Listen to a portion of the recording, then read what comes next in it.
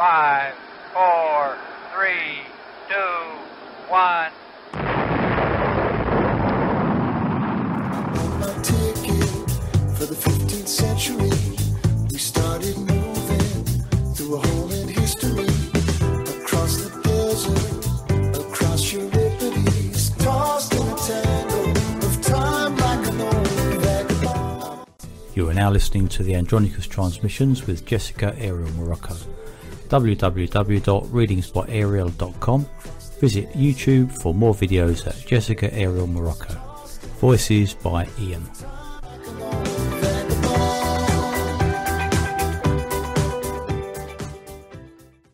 Hello, everyone, and thank you for joining us today at the Andronicus Transmissions. So, we have another uh, interesting show, uh, lots of information. We're going to start talking about some current events. We have some transmissions and some really revealing information. Um, I know that some people say, well, this is, you know, a nice little story or, or these uh, channeled information because we do it in a format of a uh, dialogue that it, it doesn't have a lot of credence to it, but if you really listen, there's there's a lot of disclosure in there, pieces of information help you understand what's going on, how it's happening, and uh, we have some really really interesting uh, uh, information this week. Now we took a, a slight break because of the holiday, so we're going to get right into it with Ian. And uh, Ian, how are you today? Hi, Jess. Yeah, uh, yeah, great. Thanks. Uh, Happy New Year to you. Happy New Year to you also. And it's a wonderful way to begin the year. Um, I, I say that lightly because it, there's so much happening right now, but it's just so much strangeness. As time goes on, it gets weirder and weirder. Doesn't? And and you think you got a handle on it, but then more gets revealed. And, and kind of what we were talking about ear- earlier is that you know, I mean, we we know that um, um, some of these um, be- leaders that we have, that so many people, you know, they worship as movie stars, as many that are in control, and people look at them and they're like, oh, you know, like they're special. And every single one of us came in the same way. Everyone will go out the same way. And I had made um, a recent transmission with Jimmy uh, regarding what's going on with Mobius and where he lives. He happens to live in Detroit, and I believe he's been interacting with an android. Um, just to let people know, trying to disclose as much as I can and and keep people up to date, even at the point where you know certain things are coming up. Now, these these are not necessarily interviews. This is raw. I mean, we're we're we're having a discussion, you know, in, in right in um, present time, and things are sort of opening up and, and during this this private session, and things are happening. So, as I'm starting to assist Jimmy, the topic comes up about uh, Valiant Thor shows up and and so he's he's obstructing. We're trying to um, assist the uh, whole uh, all all of these androids, help them to get off the planet. They've been forced here by Mobius to carry out an agenda of a mass destruction against humanity. Mass destruction against humanity is what they're doing to play out this whole apocalyptic thing, because they said, "Oh, it's already in writing, so let's fulfill it." and it has absolutely nothing to do with Jesus, in my opinion. And uh, people can argue with me, disagree with me. You're not going to change my. From what I'm seeing right now, it's less and less. Um, there's not. It's not divinely orchestrated whatsoever.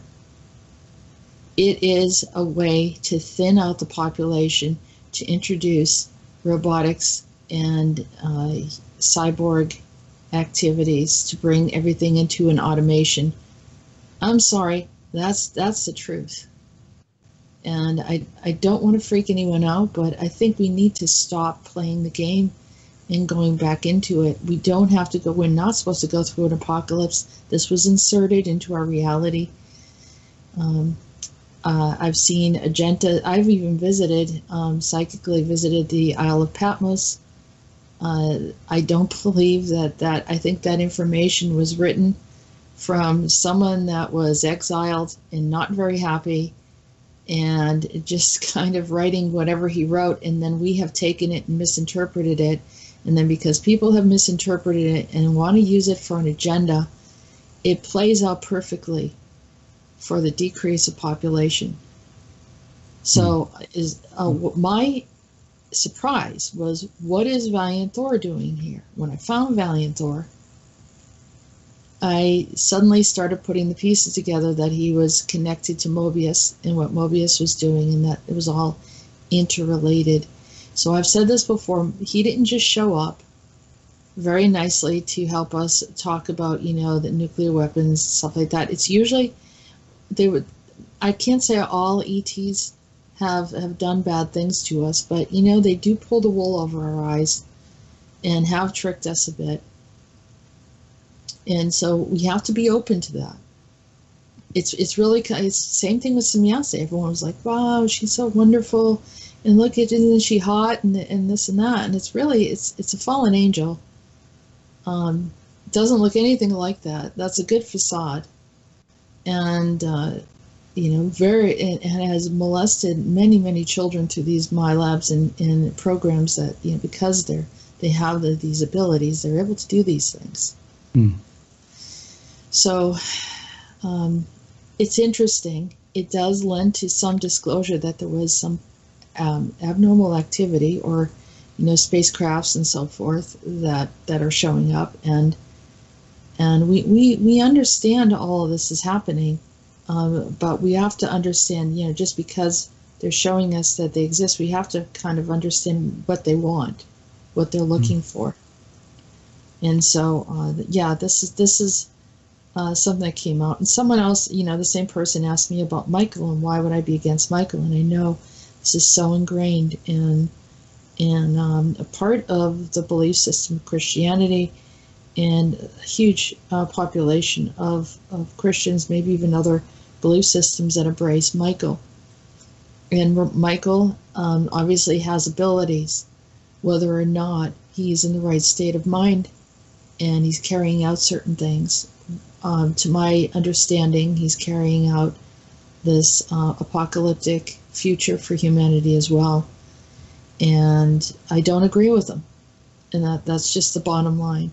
So, does that make me bad? Um, I don't know, maybe from some people's perspective.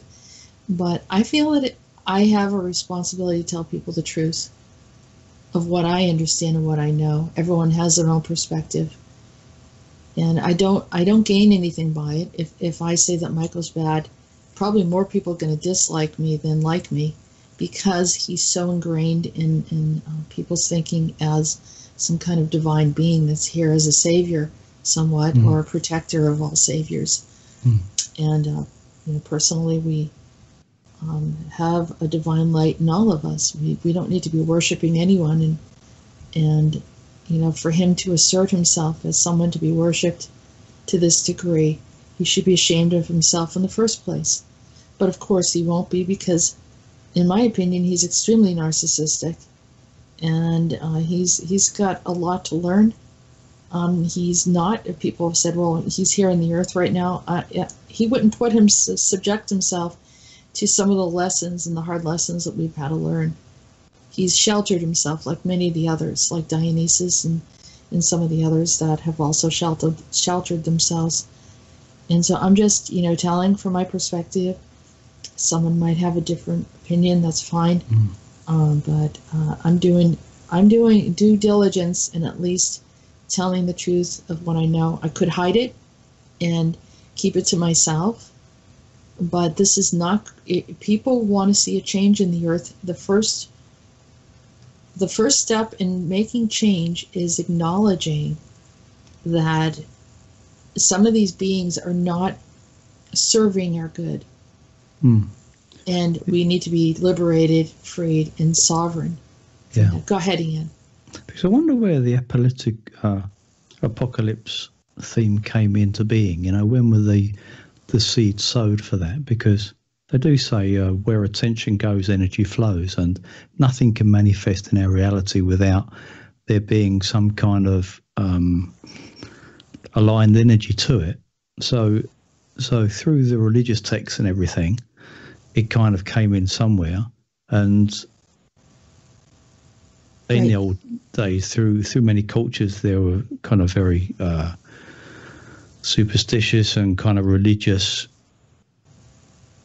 uh, people, and um, through the many books like the Bible and such like, and um, across many cultures, they this theme has come in, and it's and there's kind of millions of people.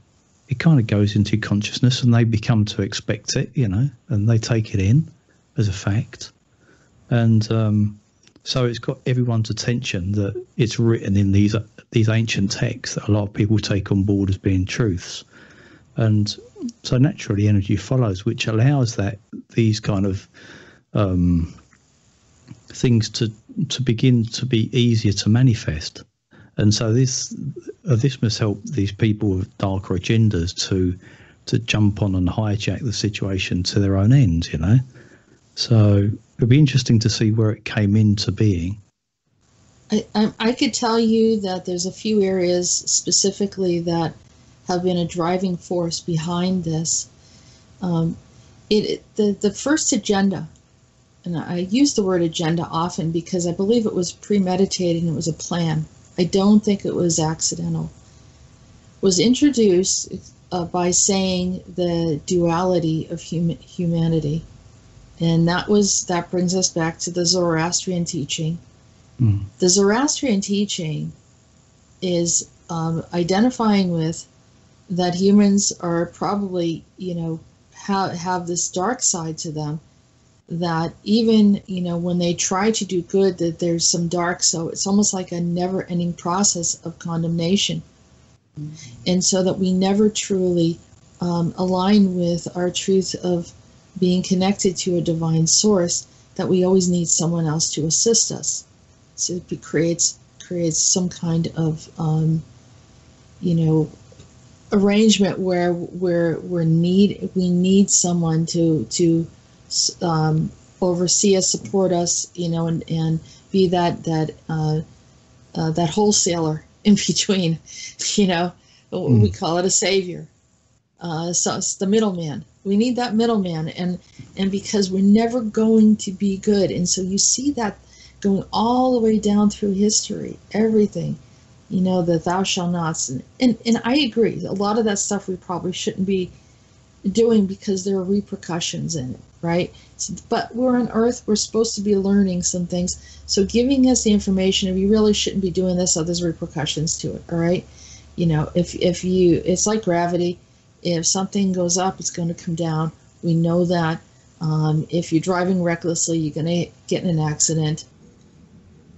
Okay, so getting back to Zoroaster, so he, he introduced um, duality. He brought it in not only to Christianity, but brought it into um, other religions, uh, including Islam and other teachings, and it sort of permeated throughout the earth.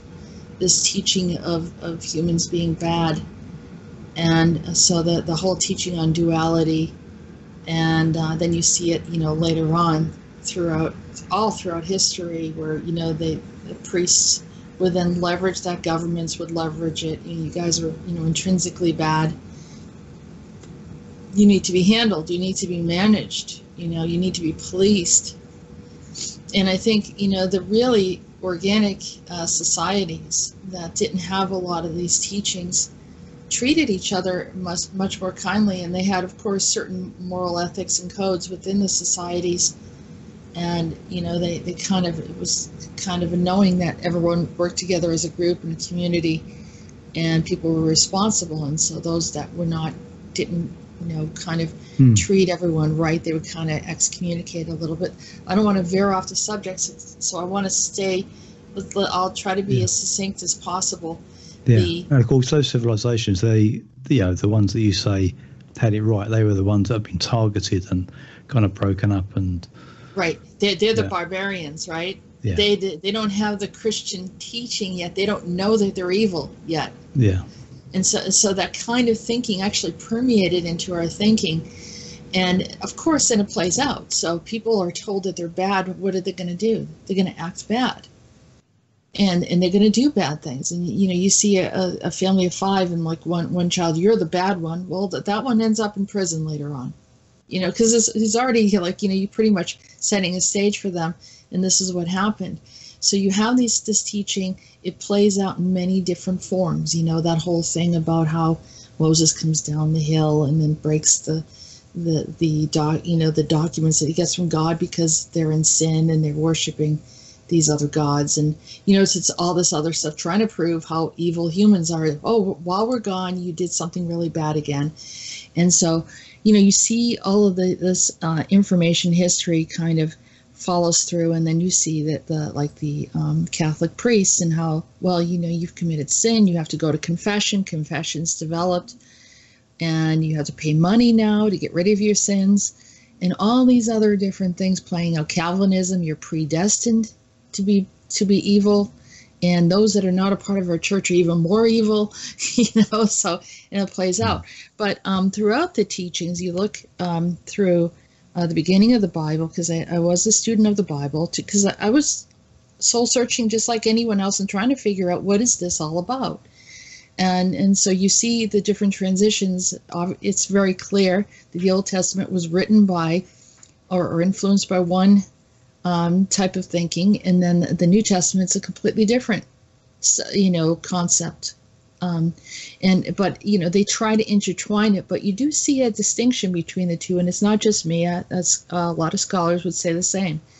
Um, and also different languages hebrew in the first part and, and then there's the aramaic and um, uh, Greek and and uh, you know whatever this others you know uh, writing those Bibles uh, uh, those those books I should say. Mm. So you get to the point with the horrible thing that that happens to Jesus where he gets crucified. So they see someone that is you know supposed to be divine, a child of the divine, and he gets brutally murdered.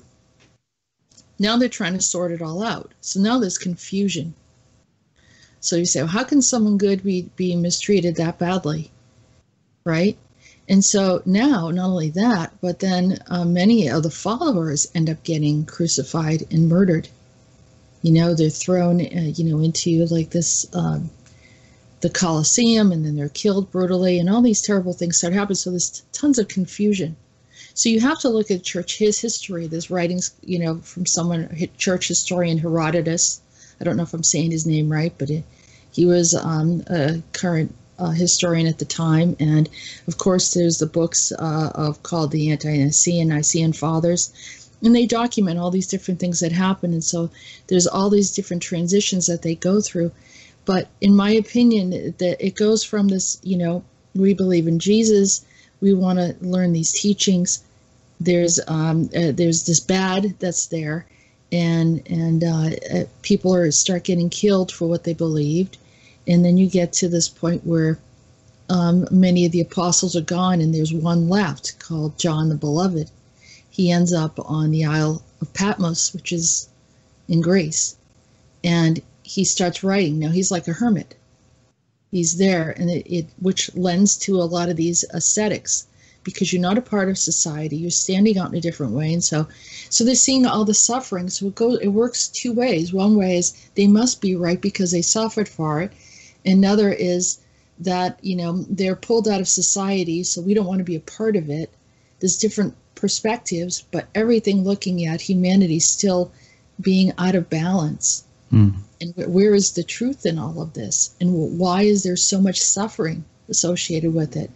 So John writes this book of like everything looks like it's going to hell. And this is our future. We're all going to get destroyed. I mean, mm. if you lived through all the stuff that he lived through, what would you write about? Yeah. So, does that mean that we take that experience and was it meant for predictions and future a future uh, reality that we're supposed to all come into this total judgment, sort of like a Sodom and Gomorrah scenario? You know, where the you know the fire and brimstone comes out. That's where that teaching comes from. There was literally some kind of event that happened, and um, you know destroyed the city. Supposedly the angels came in and tried to, you know, warn them before the city got destroyed. And you know, I mean, for those of you that know the story, and if you don't know the story, you can look it up. I mean, it's out there. It's been out there for you know a very long time, thousands of years. So um, we have have this whole situation where a, a, person that had had seen all this had been told that th- this is what's going to happen. Essentially, humanity's evil, and unless they go through Christ, they're not going to make it, or whatever that they believed at that time. And but still, everyone around him is dying or has been brutally killed. Uh, the churches, the early churches, um, some of them ended up struggling very terribly, and then even later on in history, then the churches become powerful and then they start oppressing other innocent people that don't agree with Christianity. So then we see another problem, and none of it, none of it turns out good. Mm. Should we be holding on to a teaching that was written by a man who was in despair after after witnessing so much, uh, so many terrible deaths and violence? Should we be taking that as our future? Does that mean that he's not inspired or I don't think there's any true scholar, if they're honest, can fully explain what he was talking about. It's not evident. It's it's really almost uh, it's so symbolic mm. that something that was written for the time that's, that's that's kind of not suitable now. And even if it wasn't, even if it was meant for this time, it's still filled with so much symbolism that it's you really have to um, take something and, and insert it and, and fill in the gaps. It's like um, you know when they talk about the name of God was was Jehovah. Well, technically it was J H V H, right? So that's this is this is a whole Bible teaching right now. so technically it was J H V H, which are letters they didn't have the letters in between. Supposedly, they, they felt like they didn't want to pronounce the name of God. So they had it in letters. So that, to me, um, Revelation is in letters. If anyone goes in to try to explain it, you have to insert your own information. So, how can you base the future of humanity on that? Hmm. You can't you have you have to at least get the original person to explain more in depth or else it becomes ambiguous and it either it wasn't meant to be told or it had some other symbol uh, symbolic meaning at the time that we don't understand i mean when you get to a point where you're very oppressed this is where or you're you like a hidden society you start writing in codes hmm. And so think, it's not meant yeah. for everyone right? Yeah.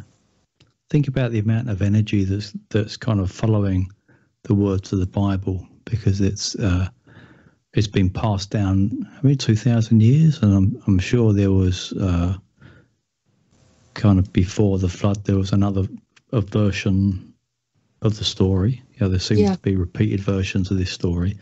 Uh, think of the energy that's that's kind of propping up these scenarios at the moment um, from millions of people who have kind of followed these, uh, yeah, this saga.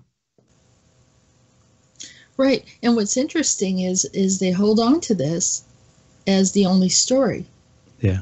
But if you look at uh, some of the ancient writings of Greece, like Ovid, it's the same thing. It, it's an old text. It has truths in it. It has history in it, but we don't even look at it we we they, we have other ancient writings. The ancient Sumerian text is another one. Uh, we don't know if we believe that or not. Well, why not? I mean, there there might be some information that that that is revealing something that they don't want us to know. Hmm. They only want us to know one story or imagine two stories. if you've got um, imagine if you got inside information about the rise and fall of civilizations, and you can time it in accordance with with um, with astrological teachings and the energy flowing through through uh, that have been created through through people's uh, focus. then you can judge when things are going to happen. You can create them, and then you can capitalize on the crashes and and uh, and take the gains. That's what that's what's been going on. It's, Powerful, isn't it? It's because we fall asleep. Yeah. Humanity falls asleep every now and then, and then you wake up and you're like, "Oh, we're going to tell you a story about what happened to you." Yeah.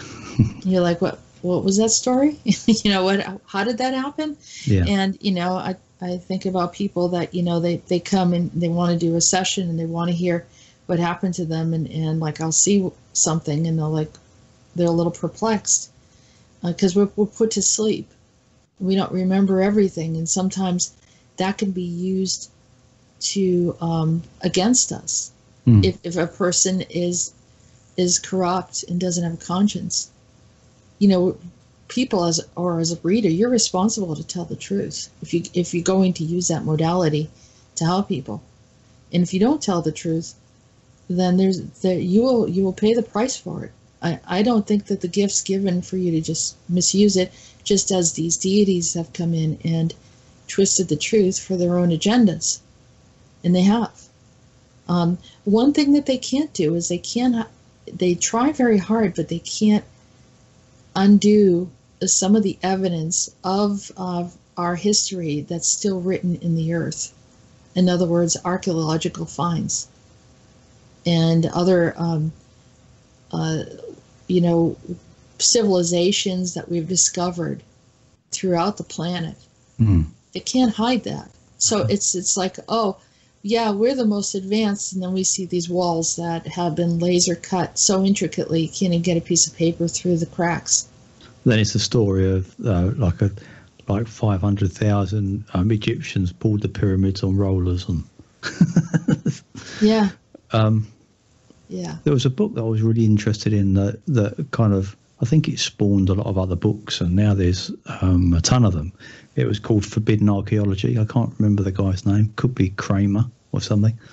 And um, he lists all the things that are kind of swept under the carpet by mainstream archaeology because it doesn't fit with the um, with their paradigm.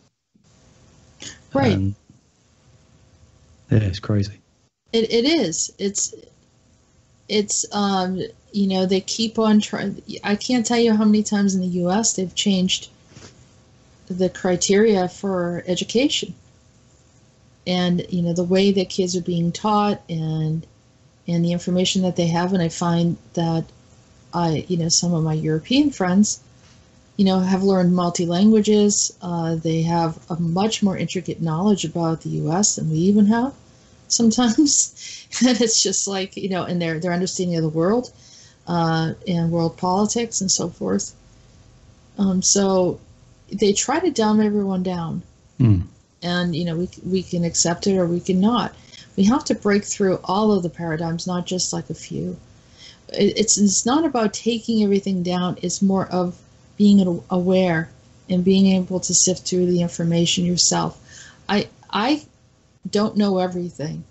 And, and, and I'll be the first one to tell you that. And I love it when people contact me and say, hey, have you seen this? You know, recently someone sent me some really interesting information about um, some of the, the different levels of civilization that exist in places that people uh, don't have any idea about or haven't really looked at, and or very few have.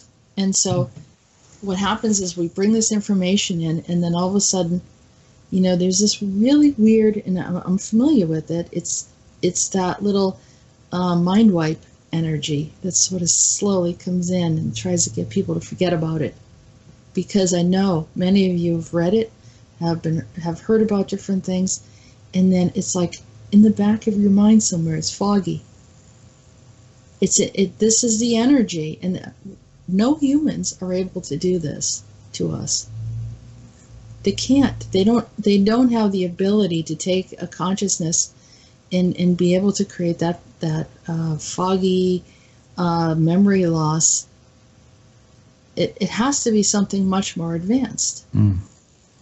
Jess, What going is- back to yeah, sorry, going back to what you were saying about the education system, but I think it's the same in all countries. No, uh, no government's going to give people enough education whereby they're going to see through the the structures and want to and kind of kind of realize that they're being uh, controlled and want to overthrow it.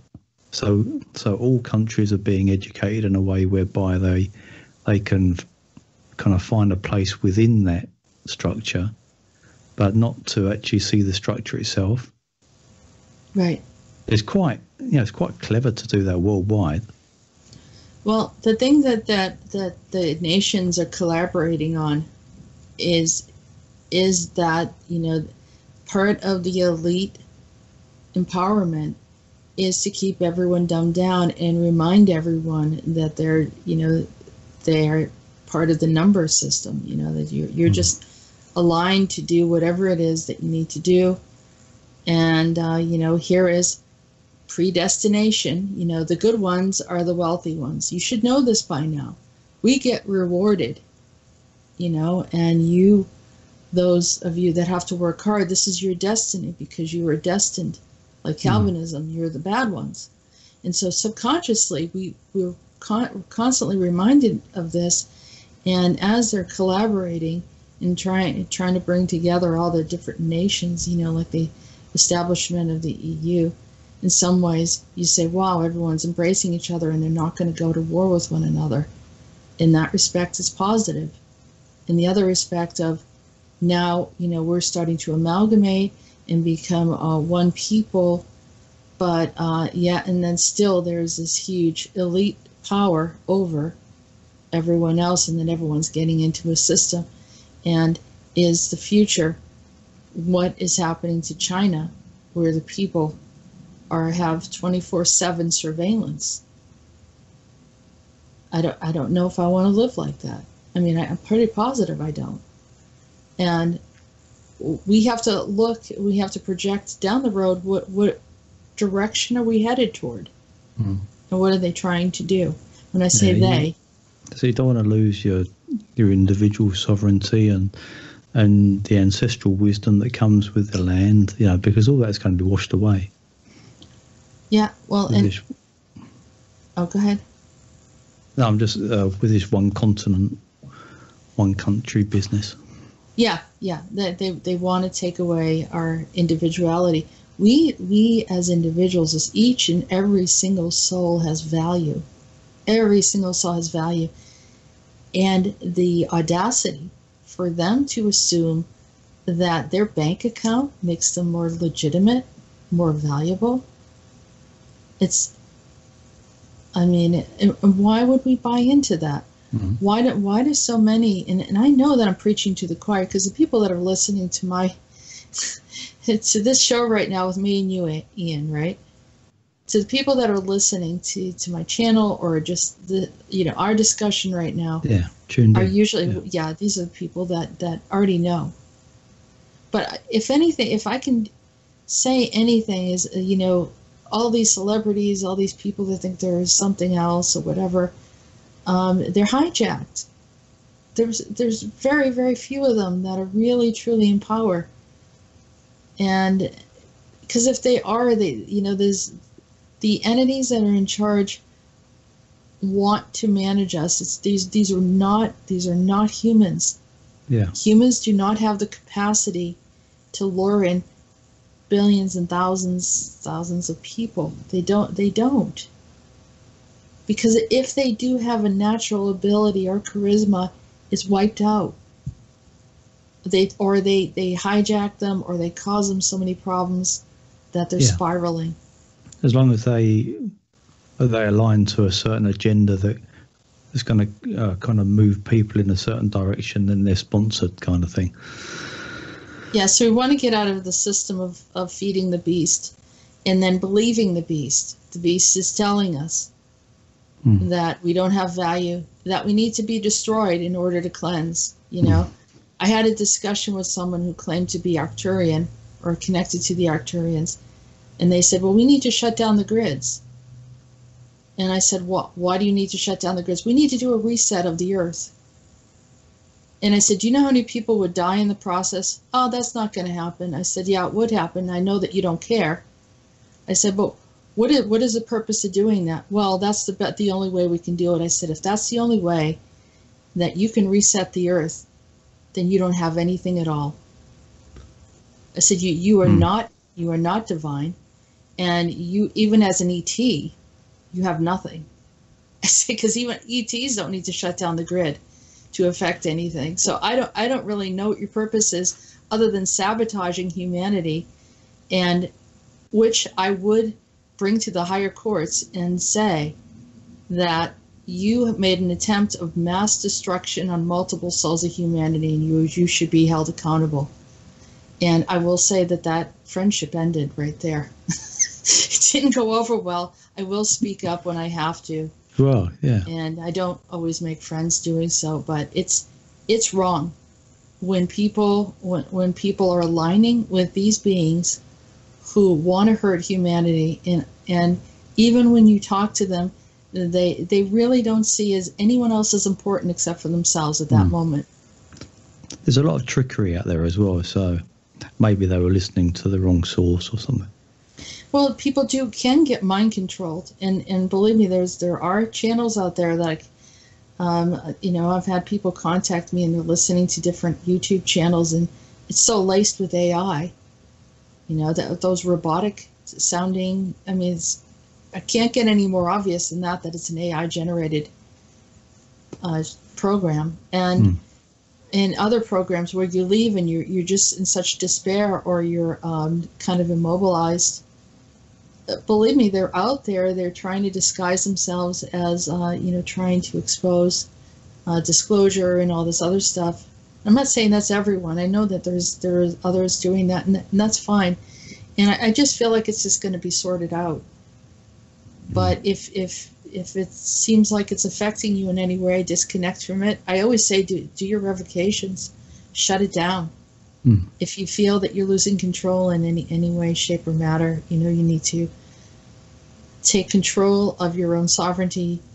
Uh, unfortunately, this is going to be the best way to do it. Your your free will is is your your greatest strength, and it's the most underutilized. And a lot of people think they have to go along with something, or you know, I remember I had a discussion with someone saying, I said you need to take action, and do something, and they said, well, I'm just going to let things happen as they do. I said, well, someone else will control your your life. It's like saying I'm driving a car, but I'm going to sit in the back seat and just let it drive itself. I mean, the, the, you know how that's going to end up. Uh, it's the same way. You know, people say, "Well, I don't know what happened in my life." Well, you let someone else drive, and you know we're told to do that. You know, we'll we'll we'll tell you how to think. We'll tell you what to do. So that's the kind of thing that people are breaking away from now, and and opening up to. And it's not necessarily about uh, revolution, but realization. That that's that's the part that we have to step into. Um, so, some of the interesting things that have been happening. Uh, let's see the the yellow vests. So that's something that we'll probably get an update on that soon, uh, regarding what's going on in Europe and uh, also uh, what was it Serbia? It sounds like Serbia is also taking up uh, the yellow vests and are starting to say that people deserve to have living situations and not have to pay high taxes without any return. And they can say that you know everyone's in debt, but um, uh, we know that that's not true. Everyone's well, I'm sure that they've overspent, and uh, they're making sure that they don't go without. But you know, the average person that's putting into everything and, and hard labor and so forth should Yeah. get something in return.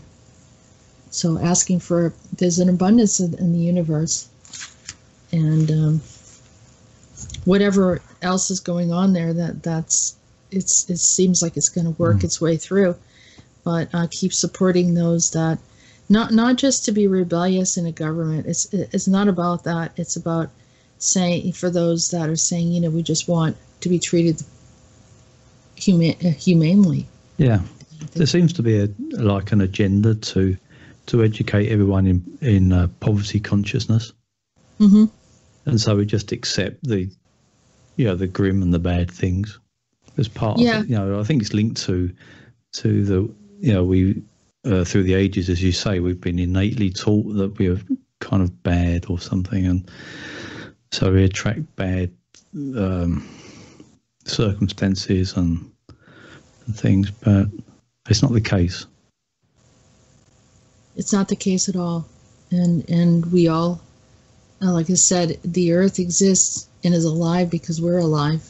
We every single one of us adds value to it, and uh, for for like just a select few, thinking that Yeah. they should have whatever they want and everyone else should suffer so they can live Mm. the lifestyle that they want. Well, it's a great way to get everyone thinking that. Then they can cream the best things off everything, can't they? You know. Yeah.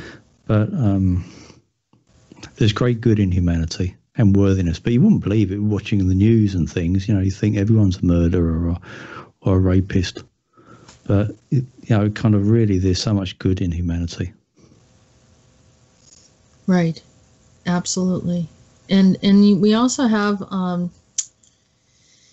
so we have that going on. Uh, we had some kind of weird transformers uh, get explode, and one was in New York City, another one was uh, down in Louisiana, and uh, that here was you know an attempt to shut down the system. Uh, 9/11 went down, so if people had an emergency, uh, they were no longer able to use three numbers to get help, but they Mm. were they had a whole long list of numbers that they had to call. we had Um, some power cuts here actually over New Year, which is quite unusual. Yeah. Uh, we had an hour, uh, maybe a, like a couple of hours uh, when I was at the house, um, I think the day after New Year. But uh, some areas around Uppsala, they, the, about um, a large amount of households, I don't know what the exact number was, may have been 50,000, were without electricity for a few days. And, and was it weather related?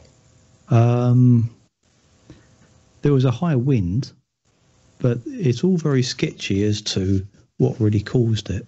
Right. right. So, you know, there's a I think there's an official story of something or other, but but um, it was just that there was this big power outage, and a lot of people were affected, and and it didn't get up for like a day or two, and that's unheard of here, you know. Well, the, with the Transformers, I mean, the, some people have said, you know, you see it on YouTube that there was some kind of spacecraft around the areas where they exploded, and they said it turned the sky blue. It was very, very strange. And some of the people thought, well, this here again, is this an apocalyptic event? Do do I need to jump in my car right now and start driving? So that this is the way they have everyone thinking. We've been trained so much with you know, there's so many kind of movies of that theme, isn't there? You know. Yeah, well, like I said, this, that was the first time that first season. Here's a Christmas season, and they had like ten movies Mm. at the theater, all about apocalypse, Yeah. um, or at least having some kind of you know background uh, this dystopian uh, experience. Um, that stays in the back of your mind when you go and watch a movie like that. You know, wherever, as I say, wherever your attention goes, isn't it? Yeah. And, you know, I've had discussions with Peter regarding uh, Monarch and Mobius, and they're of the opinion that they can, you know, do whatever they want and experiment on the earth, uh, you know, the way most people would experiment in a lab because they don't know what the outcome is going to be, and they're doing it anyhow. And, you know, so so some of these weird things could be an effect of their experimentation. And personally, if they're they're gone, I'd be uh, much happier. And this brings me back to the Valiant Thor thing. If Valiant Thor is here to support this agenda, I don't think we should support him. That that's my my feeling. And and same with Michael. So, um, you know, it's it's our survival. We decide whether we want to uh, Hmm. survive and thrive here, and whether we want to live in in uh, humane conditions or subhuman conditions. Yeah. Um, that that's that's pretty much the bottom line. Mm. And those that come off as as someone that needs to be worshipped and heroes and so forth. Uh, I think I'm I'm tired of that. So. Uh, another one here's the head of um, Mobius, no, Monarch, I should say, Paul Serene, aka uh, Kevin Spacey, because Kevin Spacey's soul, I guess, has been gone, and uh, Paul Serene's moving through him. Supposedly, he's supposed to appear in court in um Massachusetts and Boston tomorrow. uh, he committed a crime in Nantucket uh, where he went after an underage boy and violated him. And this is one of many occasions. But that's, that, I mean, that's horrible and it's really bad. Um, I know who this a newscaster is. I've seen her Mm. on television uh, in the past, and uh, you know, definitely sympathize with that. But I, on a greater scale, what Paul Serene is doing to our planet right now is is Mm. Absolutely huge compared to what he's going up against. And then, of course, he put out that YouTube video about what's um, uh, let, let me be frank, he called it Yeah. which I had like a whole bunch of information regarding that. By the way, tomorrow is my birthday, and I thought, well, that you know, if he does get in trouble, you know, held responsible for something, that's a nice little birthday gift. But um, I think that he uh, he made some threatening comments. He said a lot of different things. It was really, really uh, riveting in how he did this monologue and he's sitting there cooking and i was like i couldn't help but think about the spirit cooking you know how the um, marina abramovich talks about like he was cooking something up you know what's why why sit there and cook while making a statement like that Mm. so um, you know that there was uh, some of that and peter uh, and james and i all have a discussion on uh, one of the earlier shows that I just put out um, in disclosures. But uh, there's another one, I guess, coming out today. Uh, I talked to James, and he said he, he we did a video right around the same time, but his videos take a, a little bit longer to produce. So that information is going out today as well. Mm. Um, so you can hear more about that, and um, and then Trump shut down uh, the government because he wants to put up the wall, and so um, yeah, that's that's another uh, in- interesting thing. We're going to see how that plays out. Peter believes that they will put up the wall finally. Yeah. And- is um, I saw on the on some websites the word is that he was trying to starve out kind of financially the uh, deep state, you know, who are blocking him on certain things, Right. Mm-hmm. and he's got to go deep to um, to cut their sources off. Right, and some of the the offenders are supposed to be uh, sent to Gitmo, and yeah, we'll we'll see what we'll see what happens. Uh, you know that what they're saying, what the Democrats are saying is that well, you have the government shut down, it's dangerous for everyone, and you know you need to get the government up and running. You shouldn't be holding everything up while you're trying to build the wall. But I think that um, he's he's going to put up the wall. Yeah, That's I think bottom there's- line. And- So I think the wall is the cover story for that. Yeah, and I think that well, there's probably a lot going on, in and and I have a feeling that he knows more about what's going on in South America regarding uh, some. Pro- I think that there are entities coming up from Antarctica, which is probably Draco energy, and there was a, a minor article somewhere where this uh, South American uh, guy, I don't know if it was from El Salvador, or from where, and he said we're coming up because of the aliens coming after us. so I don't know. Yeah, I saw something about that. Yeah, crazy. yeah.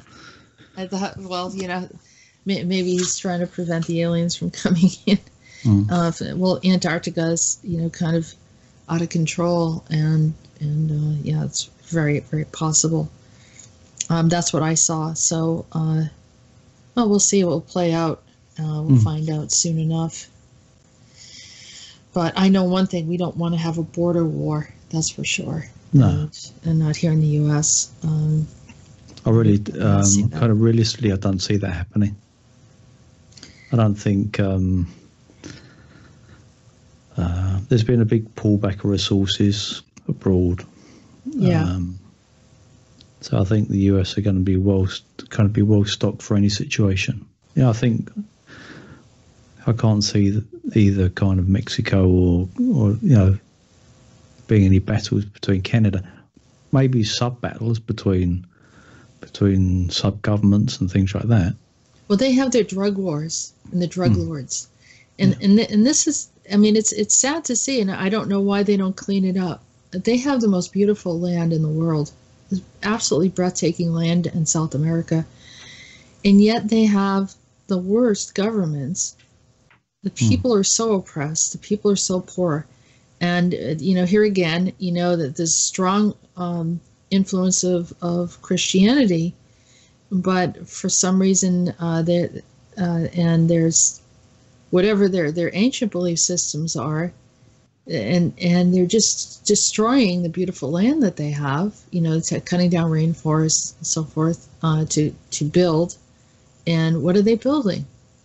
You know uh, why are people you know still living in poverty down there why are there so many um, rulers that are not very kind to their own people? You know and that's something that we can't remedy. We can't we can't fix that. That's something they have to fix themselves. You know the nations have to speak up just like in france. There there's something they know there's something wrong and people are becoming oppressed. It it's it's an effort to make to destroy their own people to bring them into a third world uh, reality. I mean, you, you know that's that's who usually does it. It does someone that appears to be your own people Mm. tearing you down, and then you become much um, increasingly more vulnerable. And it's because the rulers become so greedy. You know, money, money is it, these are objects. Everything that you're oppressing your souls. You can't. There's no comparison.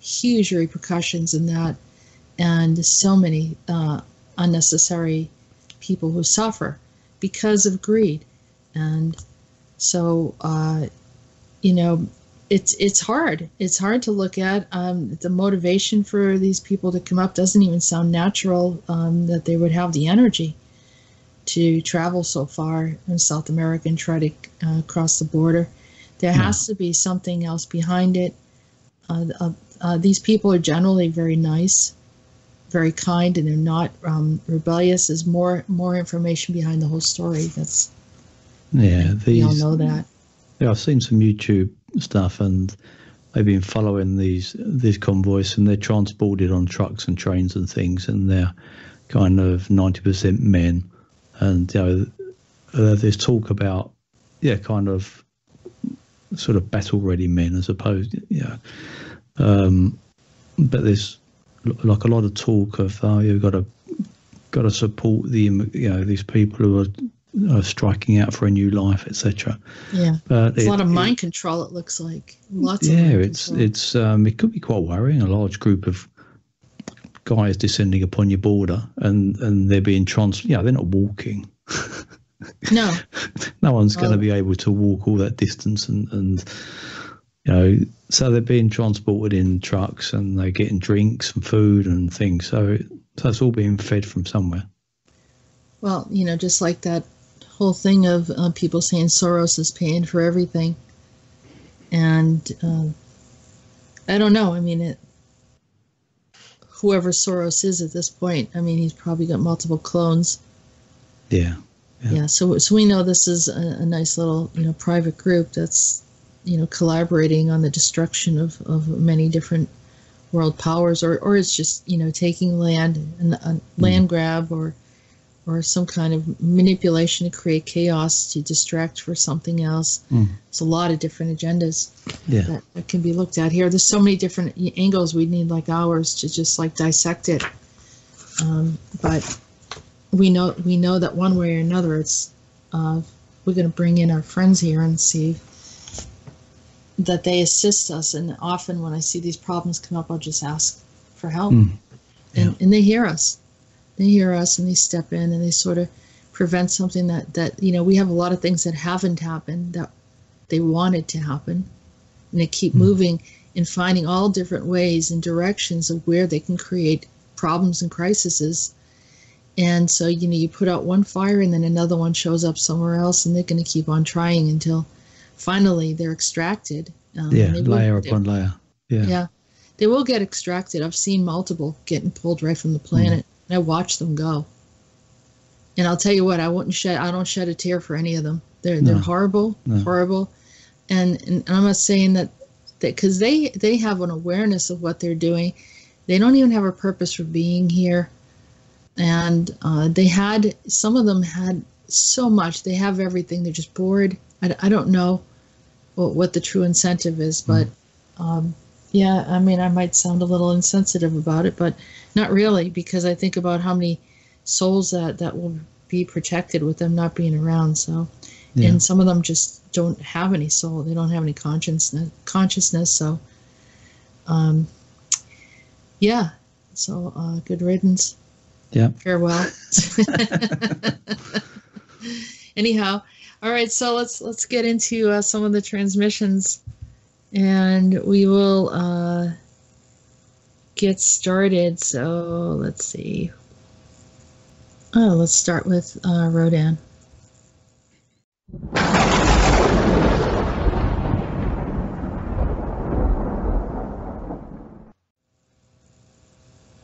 I decided to enter the past and re enter the planet again and look at everything as if it was the first time. I saw things that I'd never noticed before. There were so many things in the shadows looming over the earth that appeared similar in nature to a bird of prey closely watching for a victim. Upon closer examination, I discovered some unseemly characters. They were dark to the core. I found no skeletal structure no natural blood or vascular system. Their skin was often ruddy, and their bodies seemed to have a bendable quality without skeletal restrictions. They had a scent, which I also felt was odd, since they lacked many other qualities of a typical etheric being. With curiosity in mind, I stepped into their subdimensional space and saw their eyes. They were insectoid. Their frequency was much higher than they should be. Somehow, they had access to things that were not supposed to be at their access. Do you know who they had access? Who had access to these things? There are many out there who seem to help dark beings access light channels to be used for specific agendas. They were introduced. A subspecies was given a platform of higher access in order to maintain the status quo of the present matrix. You know you're being observed.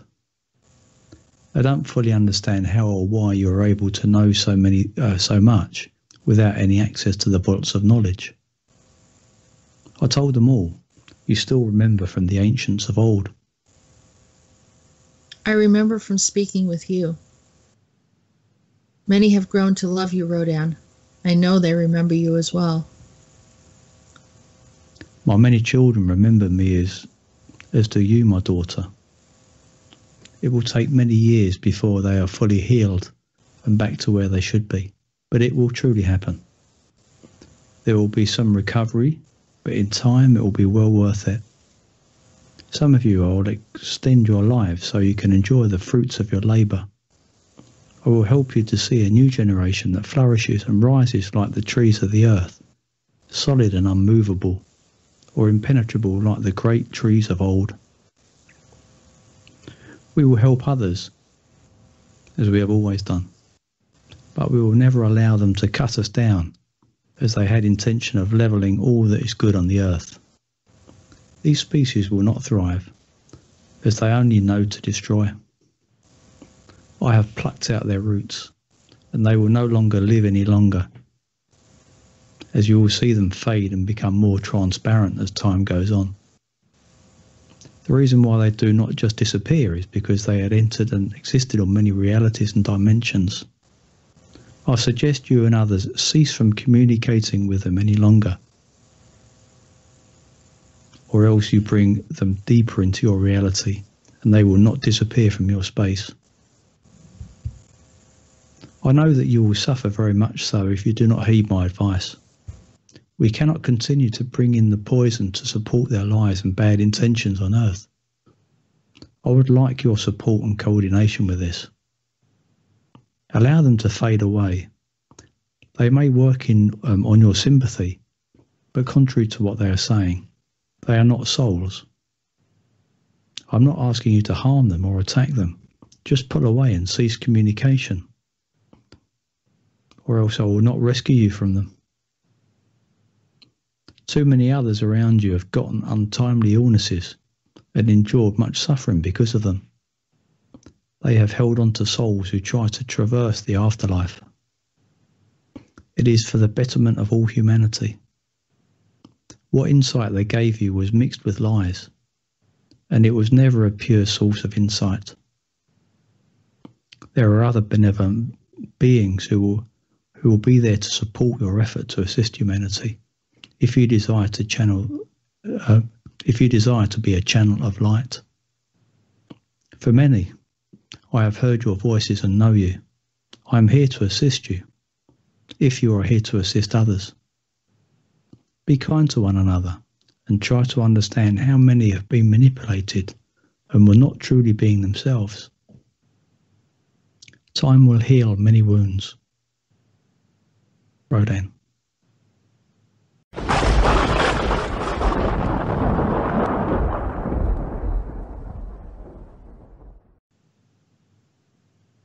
So we have the information from Rhodan that um, he sees these beings. So what's interesting about this is while I was getting this information from Rhodan, I go down to maybe about four or five paragraphs of him explaining and describing these black creatures that kind of are like don't have any skeletal structure, so they kind of like bend and move in certain ways. And I get a call from Peter and he says, We have a problem. And I said, Oh, um, tell me about it. What's going on? He goes, Well, these these uh, beings showed up, these black beings, they look like Slender Man. And I said, Oh, I was just writing about that right now. So I was getting the information from Rhodan, and then Peter called at the same time. And uh, I would say two nights ago, I was I was going to sleep and it was late at night because sometimes I stay up late. You know, I'm just trying to sort things out, or you know, sometimes someone call me late at night and they have a problem. And uh, I was when I started to drift off to sleep, these black beings started to come through into my space, and I felt like they wanted to kill me. I, I don't know any other way to say it, like like kind of an assassin type of energy and they're new so it's not like they're they're not specifically dracos or something else but maybe uh, someone you know had manufactured them or brought put them into the space. But it looks like Rhodan went back in the past he said into the planet and then found these things. And probably because you know it's like the squeaky wheel. You see one species that's really really obvious and causing a lot of problems. So that's all you focus on and you know try to remedy that problem Meanwhile, there's like all these other species doing things as well, but you don't really notice them because they're more in the background or more subtle or more hidden. And in this case, so now Rhodan decides, well, you know, maybe I missed something here, and he goes back in time and he saw, he found them. But it was just it was kind of a strange story, you know, that he was talking to me and at that time. So I I took the first part of what I wrote about Rhodan. I said I was just talking to you Rhodan or Odin, you know, as you might know him. And I said, he, he said that he goes, yeah, yeah, yeah, there it is. and I said, I know. yeah. It, it's, uh, they're, they're not very, not, they're not kind of, you know, a little bit on the creepy side. And, um, what's interesting is that I don't know if anyone else has experienced this. They, they attack you, and I've even had some people uh, there was this one guy that, that listens to the channel, and he said this to me before. He listens to my channel. He also listens to James Rank, and he says, "I, I see those black things, beings again. They came out of the the the uh, the computer screen, and he's he's intuitive, so he must have been picking them up." I, I don't know. I mean, they're not benevolent. I, I will say that. And, and, you know, maybe these are like what people would call shadow beings or um, Slender Man or something like that. But I've seen them not just tall and big like other people have, but small, which was mm. interesting. I don't know what their name is if people are looking for what their name, their name. So, um, any any thoughts on that? There's a lot of kind of um, cult cartoons and and uh, movies about Slender Men, wasn't there? Yeah. And a lot of people um, who saw them and kind of followed them and got really into it got uh, got possessed. oh, I didn't know that. I seem to remember.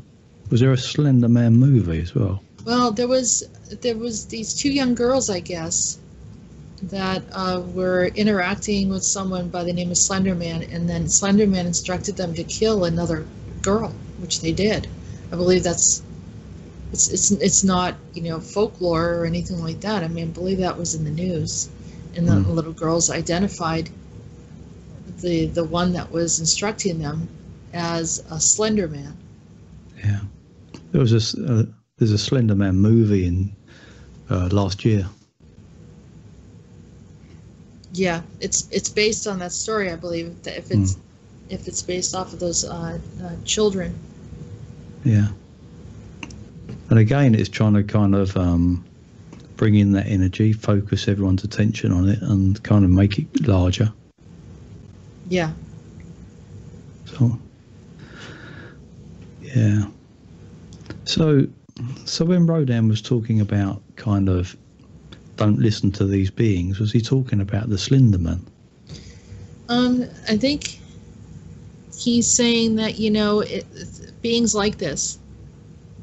i If if he goes, if you are um, communicating with them, they will stay in your space. So you know you have people that say, well, I'm hearing. I'm communicating with the the dead. They think they're communicating with the dead. That's why that's why some people say, well, you know, how do we know who you're talking to or, or whatever? Because there, there's a mixed bunch of beings out there. Yeah. There's some benevolent and some are not so benevolent. And, and the, the ones that are most deceitful are the ones that come in as light beings. Yeah. But some people are heavily interested in the paranormal. And they'll they'll go and, and do ghost hunting and all that, which I, I Hmm. did all that stuff too. You know, you know, looking for Bigfoot and you know I did I, I did a lot of different things throughout my my career, and um, because you know they find out that you're intuitive and they want to want you to participate. And I would tell people what I would see. Hmm. So anyhow, um, there were some people that were willing to just talk to anything. They, Yeah. didn't, they didn't care, and you know they would call themselves intuitive, and and some of them would playing with a. Ouija board or something. Yeah. Absolutely, that that's exactly where I'm going, and there. And so he's saying, well, you know, they're not. I'm not going to protect you. I'm not going to help you if you are inviting this kind of stuff in. Yeah. That's all he was saying. Yeah. Oh, um, got it. Because you're choosing it. If you know the difference. Yeah. Like it's one thing to be deceived by light beings. It's another thing to say, hey, I want to hang up with these beings that are that I think are interesting and they're really dark, but they they can do a lot of damage. And believe me, they just because you talk to them doesn't mean they like you. No. They're looking for an entry into to the earth, um, and you know maybe Yeah. a portaling in through through your Just- energy or something. They're Yeah. taking something from humans. So there's a, just a tool. there's an exchange. There's always an exchange. There's nothing for free in this universe. Nothing. No. You, you have to realize that there's always uh, an exchange of energy in one way or another. Yeah. And so um, consenting or whatever does allow them in, and then Yeah. they're menacing, and they will take and take and take and maybe make you really sick or create other other problems Yeah. that you don't need. Yeah, I think So- that discernment's hard, isn't it, when you first start out because you, it's all new and you might be kind of, kind of taken on by the charisma of all these. You know, if you're intuitive, it's kind of like being in like an internet chat room. You know, you, you never know who you're talking to.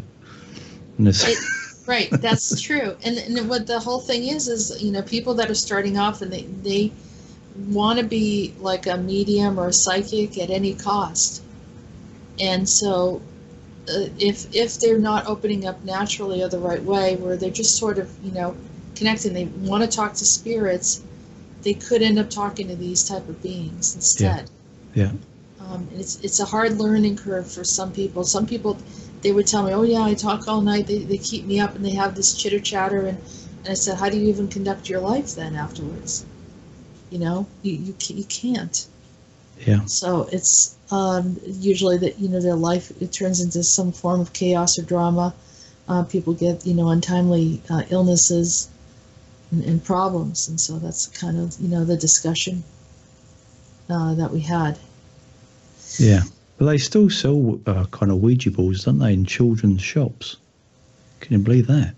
Well, as long as long as as long as there's a market, Man. um, it, as as long as there's a people are willing to pay for it, it still exists, and it's um, there. There's a lot of those paranormal ghost hunter shows, um, and then the way that they get around it is they say, well, we have this um, machine or a little, technology that we can decide whether or not this is paranormal.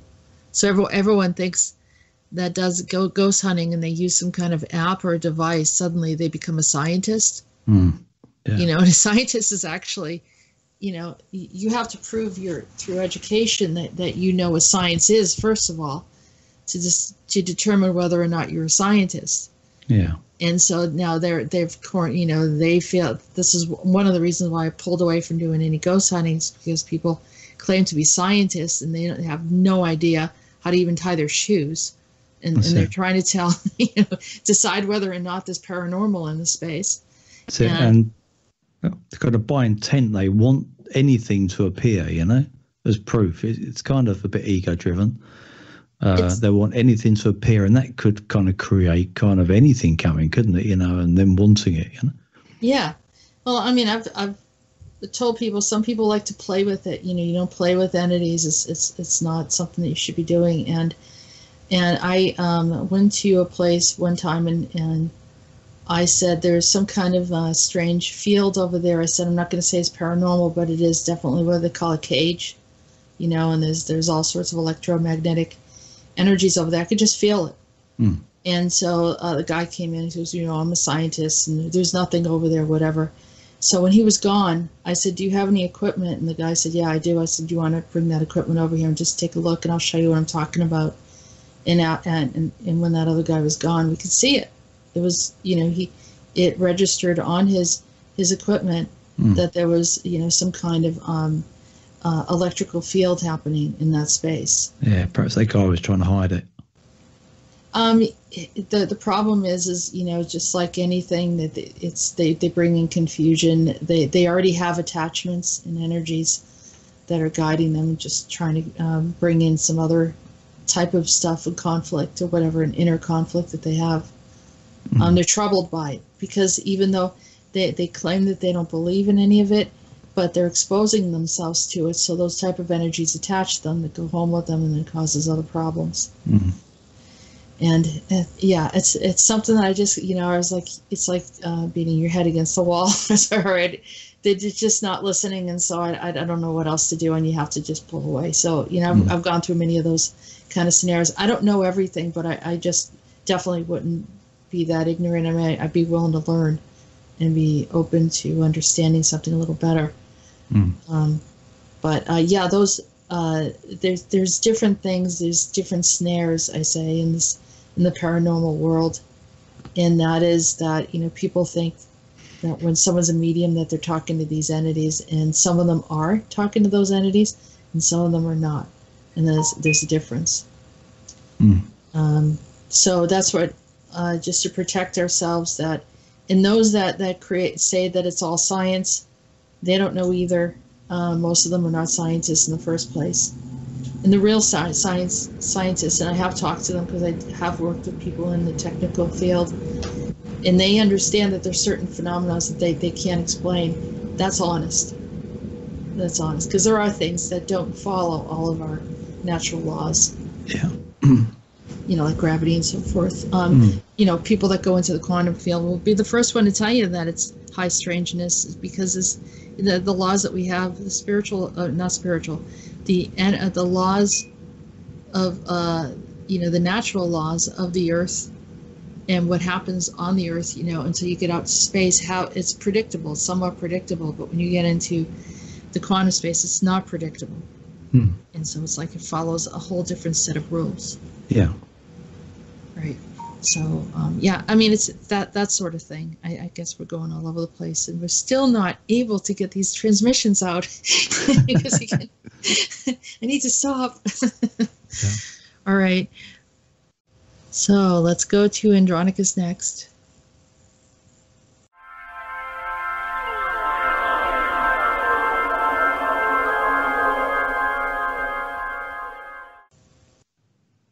Today I need to speak to you regarding Diana. Many of you have had a deep love for her over the ages. Her shining bright appearance and warrior protector image has been appealing to men and a role model for many women. We do not want to address this issue until you are all ready to let her go. It seems that her shining bright image has become dull and the facade is lifting. No one wants to feel that they were deceived. We know that it's not good to hear that someone pulled the wool over your eyes, but it must be addressed. She began to integrate the matrix around 10,000 BC, according to your estimations of time. This is part of the reason why she was introduced, as well as many others of her caliber. You understand this point in time was the duration of the Greek and Roman civilizations. We all came to observe and see what she was doing. I introduced many, including Hera, who I thought would keep a close eye on her. Instead, she became fixated on you. Diana created a field of distortion everywhere she went, so everyone would never suspect her of anything. Even amongst us, we were all drawn in by her charm. At first, she had little abilities aside from illusion. In the end, she could shoot an, uh, shoot the arrow like Artemis and fight a battle like Athena. She could rule like Hera and play sexual manipulations like Dionysus. We knew that she was a trickster and a deceiver, but her ability to mask her intentions, change the stream of thought, create a floating sensation in time, would, would then arrest and halt all inquiry of what she was doing. Now that we look at these strange beings in time, the insectoid or the octopus species that you and Rhodan discussed, we now realise that we can discuss uh, we can discuss this topic with you. You mean these black beings that look like Slender Man? That's correct. It's not going to go over very well. So many thought that they were good inside, and we cannot see that at all. The exterior was good, but not the inside, if you know what I mean. In your present time, she created bright shining lights as in Hollywood, but inside you can see the corruption. Her true essence bleeds through all of her realities. As in Lake Nemi near Rome, this was one of her homes. You will see that she had blood sacrifices of children and much more that was hidden from the people she stopped protecting that site so that much research into the history could be done. Of course, she never dreamed that we, um, it would be revealed or that anyone would take it seriously. In Hollywood, you can see much of her system is now being re- uh, revealed as well. Hollywood is the same type of space as Lake Nemi, but brought to modern times. This day, many will choose to remain with Diana, and many will leave. I speak on behalf of Rhodan today and ask all Danubians to sever all ties with Diana and assist in freeing humanity from her stronghold of darkness, soul capturing tactics, high illusion, and for desecrating the souls of humanity who have a divine connection. You have free will to choose, but if you desire the highest potential for yourself and humanity, this is another universal stronghold that must be broken on the path of human liberation. Blessings and freedom, my fellow Danubians. See the light through the trees. Andronicus.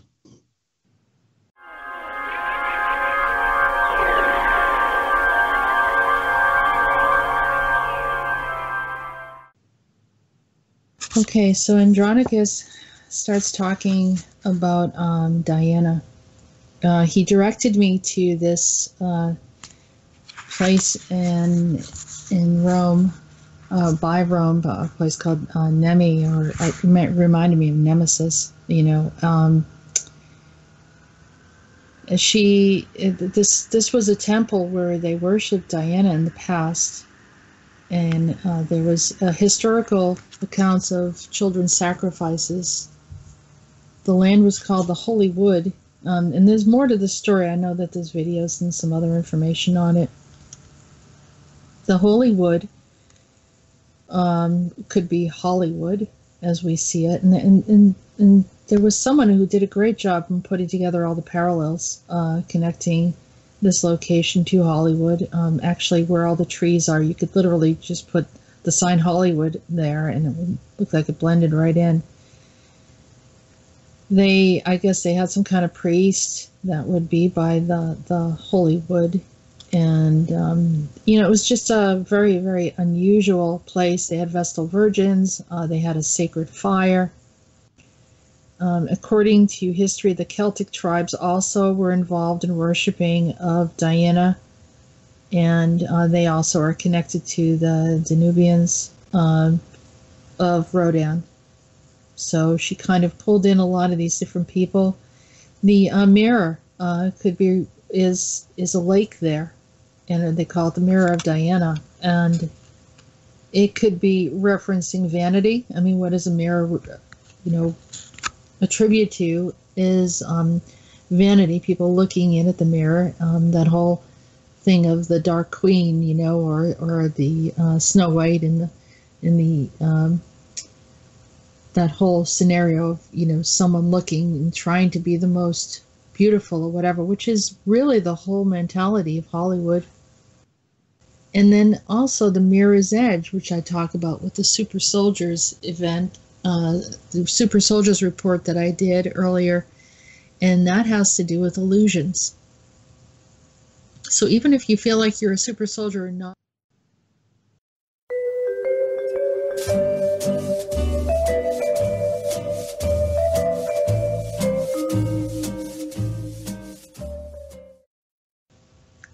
Okay, so getting back, we had a little bit of a technical issue. Uh, getting back to the uh, mirrors, in the Super Soldier report, I talk about uh, the mirror's edge and how the mirrors create illusions.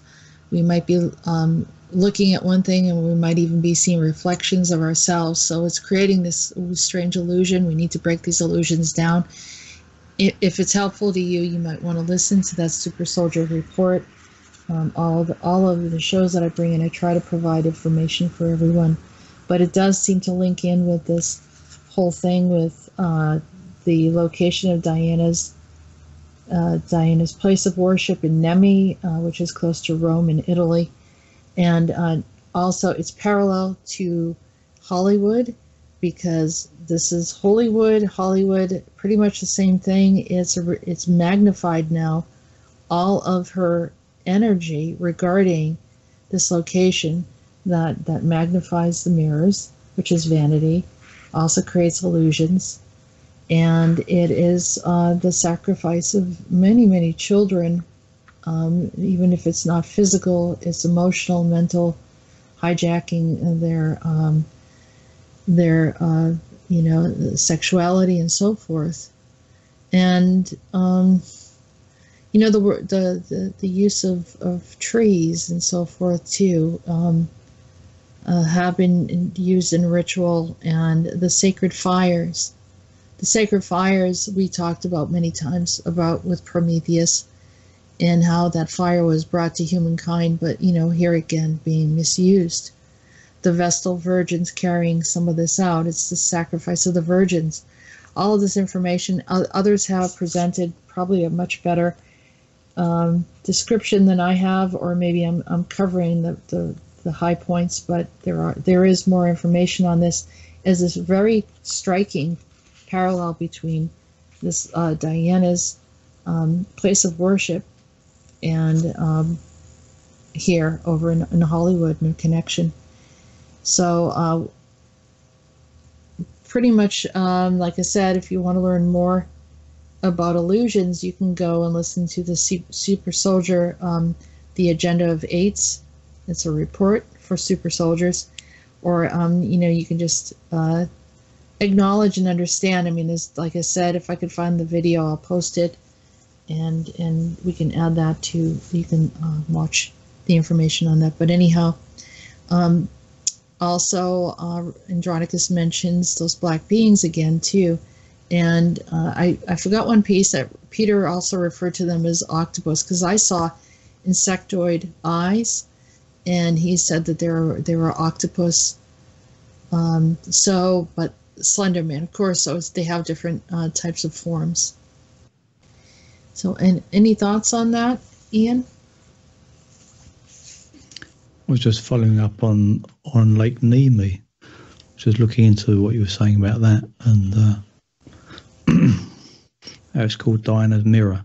But there's some other interesting things. There's there's a um, a sacred grove there that you met. You know, you, you mentioned um, Emperor Caligula. Uh, um, used to spend a lot of time there, so he was involved in those Yeah. kind of uh, kind of debauchery and uh, um, excesses there, um, and it seems to be a source of a lot of creativity in like UK culture as well, because I, I see the uh, James George Fraser who wrote The Golden Bough, which is kind of some kind of uh, kind of White Lodge stuff, really. Um, he writes about um, a bloody priesthood that was famous there, and uh, what happens is there's there's some blood sacrifice that goes on there with the the high priest has to be killed by the next high priest, and he has to be really bloody, and the blood of the old high priest fertilizes the ground. Weird, huh? Yeah, And, yeah. I mean, um, this these are very very ancient practices that probably should we all should have forgotten, but for some reason they carried on. And this fixation on blood and and um, uh, drinking of blood and all that other kind of really nasty stuff is something that's been going on for a very very very long time in in hidden circles. There's a lot of kind of um, energy in blood, isn't there? Yeah, but it's it, you know what? It's it's so negative. I mean, Yeah. uh, really not getting. I don't think what they say that they're getting. No, it's They're- they're of You're losing your soul. No yeah. question. So Yeah. so all you're doing is saying, "Hey, my body, I, I, my soul doesn't want to be here. I'm just going to get rid of my soul, and I'm going to let something jump in." yeah. So what's what's the advantage of that? I, I, I don't understand why someone would think that was so glamorous and, and so wonderful. And you get power, but you're not even the one that gets to experience it. It's something else. Is it, does anyone ever think of that? No, I don't know. But it also Yeah. reminds me what sprung to mind. There's also a thing about mistletoe here as well. And there's there's some ceremony where a kind of on the run slave has to offer uh, mistletoe to the high priest, and then he can murder him brutally. uh, but that's all a bit strange. But but it kind of reminds me of what they called uh, the most dangerous game, which was when the elites were hunting kids for fun yeah. and Yeah. and they'd use kind of children set kind of children off, and then they'd hunt them down. Yeah, with dogs and guns and things. And and the ones who survived were allowed to live, and they would do you know they would take part in the next hunt. Um, Sounds like the. Hunger Games because these are orphans, right? yeah, or yeah, abducted kind of- children. yeah, sounds kind of sounds exa- exactly like yeah. the Hunger Games, and, and and here we are showing this movie to our kids. yeah. Why? Why are we doing that? Why are we supporting these agendas? And then movies, Hollywood, you know, it kind of all makes sense, doesn't it? Well, Jennifer Lawrence's character is very Diana-like. If you think Mm. about it, heroic, the female, you know, savior, the one that stands up for everybody and is, you know, has uses the bow and arrow, tries to do the Artemis thing. Yeah. Yeah, I mean, it's it's all right there. Yeah, I kind of loved your analogy with uh, with the mirror and Hollywood and, and things, and it and it's just obvious there, isn't it? You know, It how, is. It's how yeah. that's been refined and and then digitalized and kind of modernized into kind of like a like a version, yeah, because obviously this was an area of kind of seemed to be great dark magic, and then from there, it's it's it's been technologized, if there is such a word, to Yeah. to mass produce it to everybody. And so, what better place than Hollywood? Well, a lot of a lot of the stuff in Hollywood, especially targeted towards children, are old ideas, old stories that are digitized, digitalized, I guess. And when you think about it, what what does that mean? It means that they're able to actually recreate it, and instead of imagination, kind of saying, "Oh, so that's what you mean," or whatever, and everyone kind of coming up with their own interpretation of it, they're actually simulating something so it now um, starts to feel a little bit more like history i mean we look at like like star wars or something uh, you know like one of the really really popular movies if you think Mm. about it and how it's almost like you know pop culture actually Yeah, fits in Yeah. somewhere in, in history it's almost like something where we universally can talk to to people Yeah. all over the world and everyone knows about it there's kind of soft Yeah. disclosure, but it's almost as you say, it's, it's kind of deep down inside us. It's part of our yeah makeup. It speaks to the archetypes. You know, there's something in us that's kind of may have lived those times, or But may have seen that story.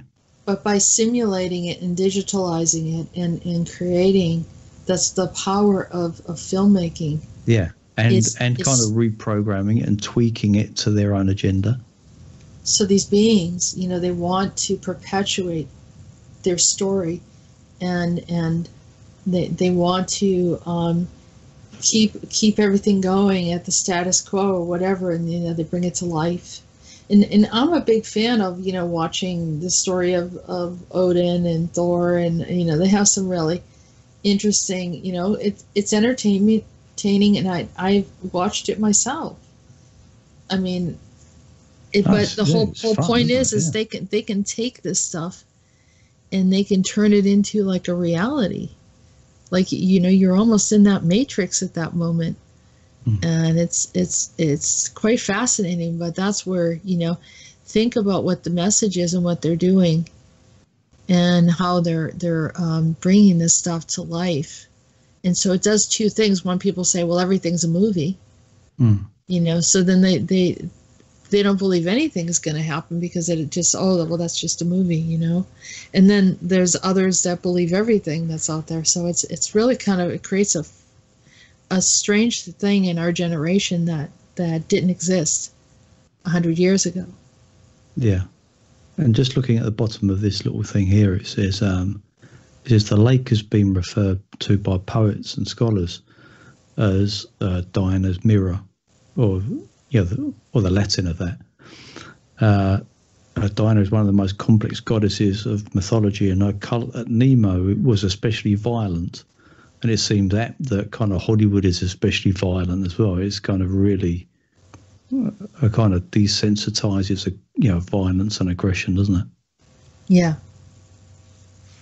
yeah it does It Kind of gets you, you, you it kind of breaks you down from being being kind of um, I don't know a peaceful, gentle person into some kind of model for their world. Yeah.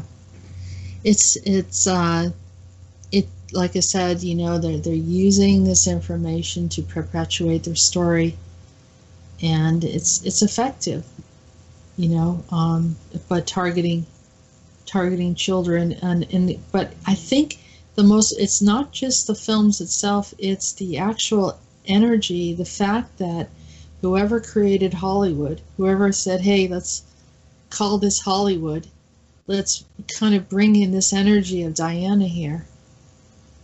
And that's what, what was created. Hmm. It, it just brought the same energy that was there in this same site. And it just linked from there over to California. And there you have it. And the rest is history. Hmm. I heard So- somewhere that, that the money from Hollywood was start, you know, the the foundations of Hollywood was was grown from the porn industry.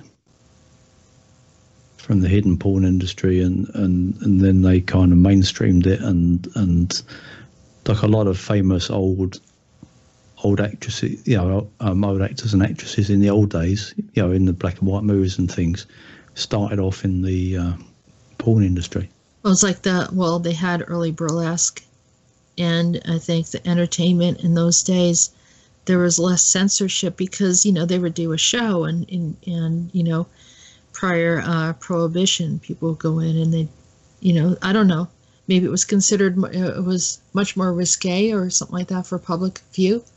Yeah, I'm thinking we've only just scratched the surface of what really has gone on with these with these Yeah. organisations. You know. The before that it wasn't just that it was also propaganda too. I mean they started early on with propaganda because the newspapers well we had uh, yellow they called it yellow journalism that happened before. You know the movies were really out there. Everyone you know relied on news. And so they would take the news for uh, sensationalism to sell more. And uh, so that was something that that started early on too in turn of the century is what they refer to as uh, yellow journalism. That's actually that uh, Citizen Kane the story Citizen Kane talks about Hmm. some of that stuff, which is probably the most recognized film that came out of Hollywood. Hmm. Which is interesting because you say, why would that be like considered the best movie ever made? You know, and I remember hearing people talk about it and kind of looking at it and then watching it again trying to figure out what they were talking about. And it's it's because it's sort of the premise of everything that they're doing Yeah. and and but yet uh, uh, in in plain sight. But Yeah. doing uh, all sorts of things without people recognizing. And so here again is the illusion. So that's the illusion part. And Yeah. then the vanity is the mirror part. So yeah, Yeah. And, and, and the, the sexual you know stuff. It's interesting. It's, it's very interesting. It's, it's something that um, here again there's a lot of a lot of pockets of information that that kind of give people something to think about. And what's really cool is that people will write something in the comments that add to it, and I, I love that Yeah. because um, you know we're all uh, learning here, and everyone sharing information. We can get some really, really uh, um, get everyone really on board with um, you know ha- having having uh, hands-on knowledge of what's going on Yeah. Step by step, we'll get there. Yeah, absolutely. And and I think I think we got the best people around there that are listening in. I think that, that we got some really really amazing people out there, and they're they're not in the forefront, but I believe me, I try. I I really respect you guys. I, I love you guys. I think you're awesome, and um, you know this is this is what it's all about. And I can't be any happier doing what I'm doing, knowing that that there are others out there that that are contributing and and um, getting into the conversation. So, um, all right, so we should go on to uh, Jericho next.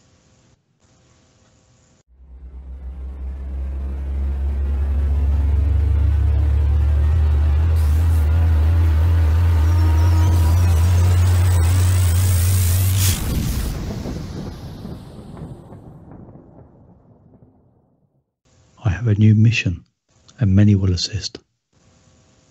You, my brothers and my sisters, can help us make the change needed for this coming year. Three have been selected to go beyond the scale of known reality, and many others will be within the parameters of assistance, but located within the matrix.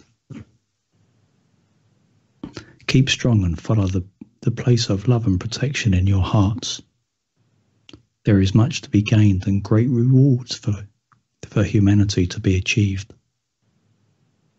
I will show you much of what you need to do. It will be an awakening of the senses and a realization of many new truths that were repressed in your minds and already existing in your past. You knew so much and have forgotten so many truths. Now you are remembering again. Trust the path to truth, liberation, and insight. I will guide you through the dark spaces from where you are into a brighter place beyond illusion, where you can see the true sun again. Then you will be free to assist. Be patient. because for many, that time is near. Jericho.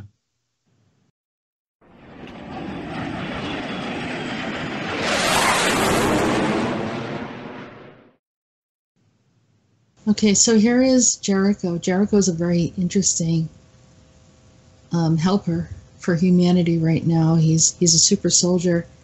Is is he here physically in form? Um, I'm not 100% sure. I do see him in dimensions, and he's definitely a time traveler. Um, was he a part of the Montauk project? Um, it's possible. It's possible he wasn't. He might might have been in another project somewhere else. But uh, what I do know about him is that I have seen him in different places helping us. And so, because of that, um, I had a, a, video done where I recorded information that I knew about Jericho and that he was looking for others to um, it, that would recognize him. He's kind of did a call out for those that would re- recognize him to assist the planet at this time. And there was um, uh, a request here that he said that he talks about three that have been selected to go beyond the the matrix as we know it and to shift some things. And i think what they need to do is connect to the earth um, and connect to the galactic community. And it's there's there's something that that that needs to happen.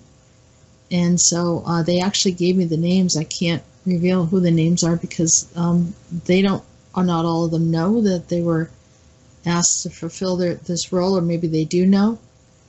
And um, those that uh, say that they don't want to be a part of it will then um, they'll select someone else, I guess. But Jericho has, has selected them in particular, and and others, and maybe there's more information to this, but we'll find out. Um, I, I, did mention something to Peter, um, but we'll, we'll see. We'll see how how this how this transpires. But anyhow, uh, Jericho's here to help. He's also a part of the Super Soldiers report, and there's more information on him. So, anything else that you want to share, Ian? Um, no, there seems to be a, a concerted plan for humanity, doesn't there? By yeah, all very optimistic messages. Yeah, yeah, very. And it's interesting because we talk about the Mirror's Edge and the Super Soldier report. And of course, you guys all know about Super Soldier Talk, James Rink Show, too. So, you know, coordinating with all of it, there's, there's just a lot going on. Um, but anyhow, get, we're going to go to Gary next. So, Gary has a whole different type of message today. And okay, so he he wanted to show me uh, an overview of assistance from the Unearthers or the Council of Five that prevented catastrophes for humanity. And um, maybe uh, I'll have uh, Ian, if you can uh, do that. Do you want me to read everything in Gary's voice? Yeah, you might as well do that in Gary's voice. I mean, it's not humorous as, as typical, but you'll be able to hear what he has to say. Because, Jess, have you seen there's parts of it that says, he then told me? Yeah, I know. I, I read it. To, um, I can. Why don't I just read it through? And because I think I don't want to take the the impact of what he says away. So for those of you that look forward to hearing Gary, we're not. Maybe we we don't do it in his voice. I'll just do it myself then. Um, okay, so uh, it all began when I saw a fault line up in a city where the buildings began to collapse from an opening in the sidewalk. Being upset by what I was seeing, I began to converse with Gary regarding what was going on.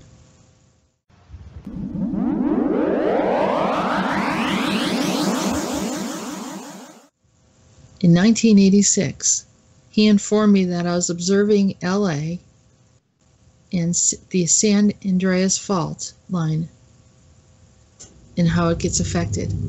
Apparently, this vision was to take place in 1986, possibly around May or in springtime. and the Emerthers or the Council of Five prevented this from happening. In 1992, he told me that Donald Trump was prevented from an assassination because of his role in the future. This did not take place in office, but prior to this time, actually in 1992, the Council of Five prevented this from happening, could prevent him from being harmed in the future as well.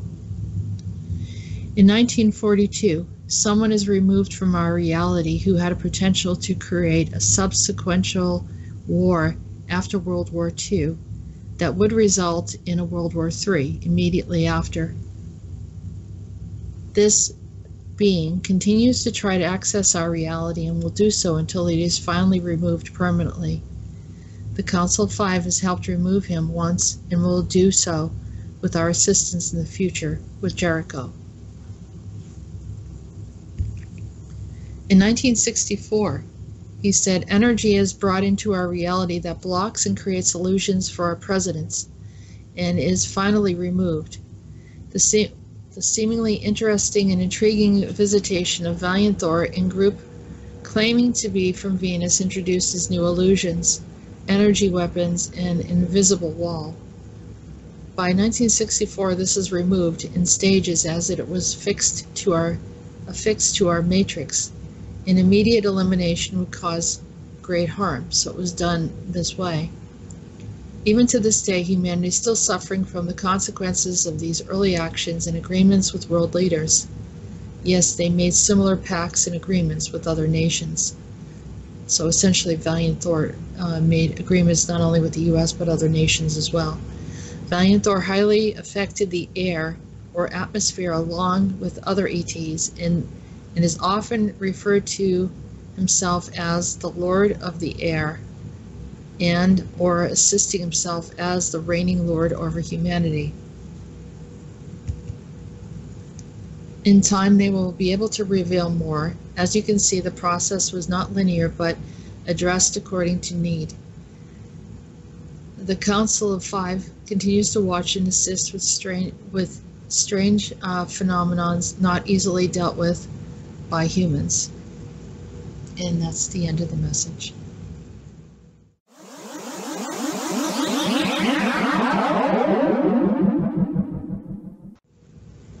So we see these series of events, and, and this is the order he gave it to me, and I didn't I didn't try to change it in a chronological order. He said it this way, and so I, I wrote it down. Um, what happened was uh, I was just observing a vision, and it's almost like I was on a sidewalk, and this building just sort of started to collapse, and I started saw it actually break. Um, like the the left side of the sidewalk started to break open, and they'll let me see things sometimes of what could have happened but didn't. Maybe it plays out in another parallel and so that's when our discussion began. And, and they told me it was in fact it was around la um, and something related to the san andreas fault. And that was supposed to have happened in 1986 but didn't happen.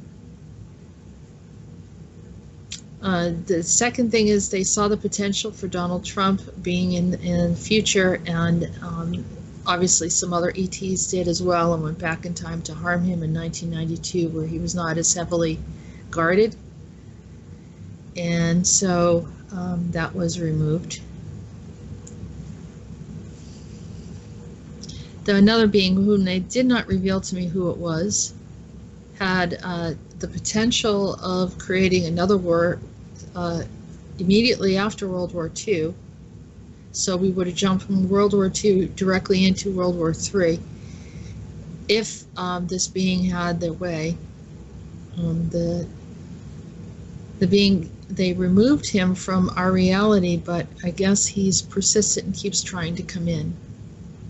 And so he said they said in the future that there may be a point where, where uh, he'll need to be dealt with again, and uh, they believe that Jericho, maybe those that are uh, working with Jericho will assist them. in 1964, um, I guess there was this energy that was brought in that brought in some kind of blocks and, and uh, illusions that affected our presidents and all the presidents after you know that time period, and um, and in addition to world leaders. And so they they attributed it to um, Valiant Thor, which I, I've mentioned before. And how you know of course he came in saying you know we're talking peace and we're gonna you know let's not be involved with nuclear weapons and all that other stuff. But you know there's a lot of other conversations that we don't know about. Um, uh, they, they reveal to us what they want us to hear not not everything you know of course and um, another thing too is and he mentioned this and, and i've heard thor call himself the lord of the air to me before as well so um, he's saying that he's essentially the, the reigning lord over humanity. And uh, so they had to start removing some of the overlays that he created so it, uh, humanity could, could evolve and not be under that. You know, it's we have multiple um, control systems, and this was another one I think they were trying to help us with. And so then that's that was the end of the information that he provided.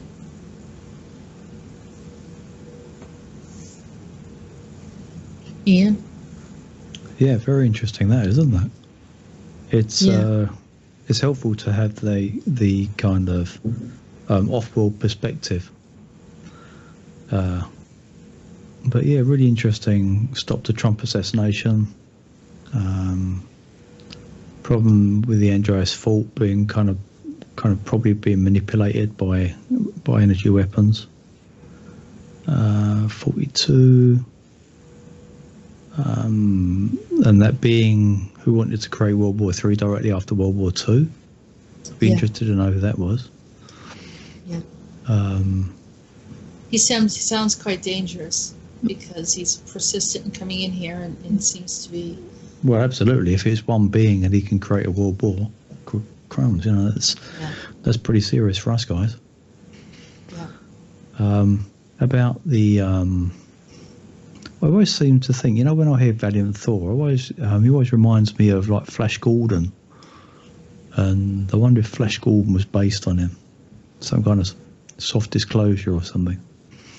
Yeah, I, I think I think that you know I mean he came off like you know it was quite fascinating you know anytime you have a visitation from a, an ET and especially him he looks very humanoid that you're like wow this is kind of cool you know and you see them all sitting around and talking and he looks al- always very contemplative and um, couldn't really you know if you didn't know any better you'd say he blended in with the crowd and some you Hmm. know some people that's why people have a hard time believing because he doesn't look unusual. And you know sometimes you walk down the street like i've visited this this uh, festival that they have called the exeter days um, like an alien they have discussed aliens and everything because of of an abduction issue that happened um, years ago. I don't know if it was in the 70s maybe. Uh, i might have the date wrong. But anyhow um, uh, if you if you walk around in the crowd you can almost say, "Wow, that that person sort of looks like an alien." You know, you kind of like, you know, they look different. You know, I, I'll never forget. I saw this guy walk. He had to be about seven feet tall, and and just just his stride looked so unusual. Like it didn't look it didn't look human at all. Mm. And and so you know, it, Valiant Thor didn't look like that. He he, he looked like someone that is is a very typical human. He could be in a uh, grocery store. He could be in an elevator, and and you wouldn't you wouldn't think anything of it. There's there's kind of two images. If you if you Google Valiant Thor, there's a blonde one and a dark haired one. Right. And neither one of them look, you know, um, much different from being humanoid. No. Yeah, and they- you're right. There's, there's some people say it's the the blonde haired guy. Some some of them say, it, for all for all we know, it's all of them. Mhm. because Yeah. there's him and then there's this other guy sitting next to him that writing notes all the time um, then there's a woman that's always there with blonde hair so uh, well these are the pictures of course Yeah. You know, w- w- an ET is an ET. That they don't have to, ta- you know, assume one form either. I mean, they they have abilities to change their form. Uh, most of them are astral beings, so that they don't really have a form in the first place. Yeah. Um, oh well, you know, or or they're Very they're you know Very like a reptilian, you know, they they can shapeshift and and uh, the grays and so forth. So, yeah, there's a lot of different a lot of different ways to look at it.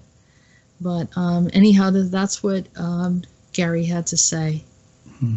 regarding Well, it. And and Thanks for your help, fact, Gary. the fact that he called himself the Lord of the Air, I thought that was interesting. Yeah. It reminded me a little bit of the Lord of the Flies, um, something like that. Uh, all right, so we have Meetis.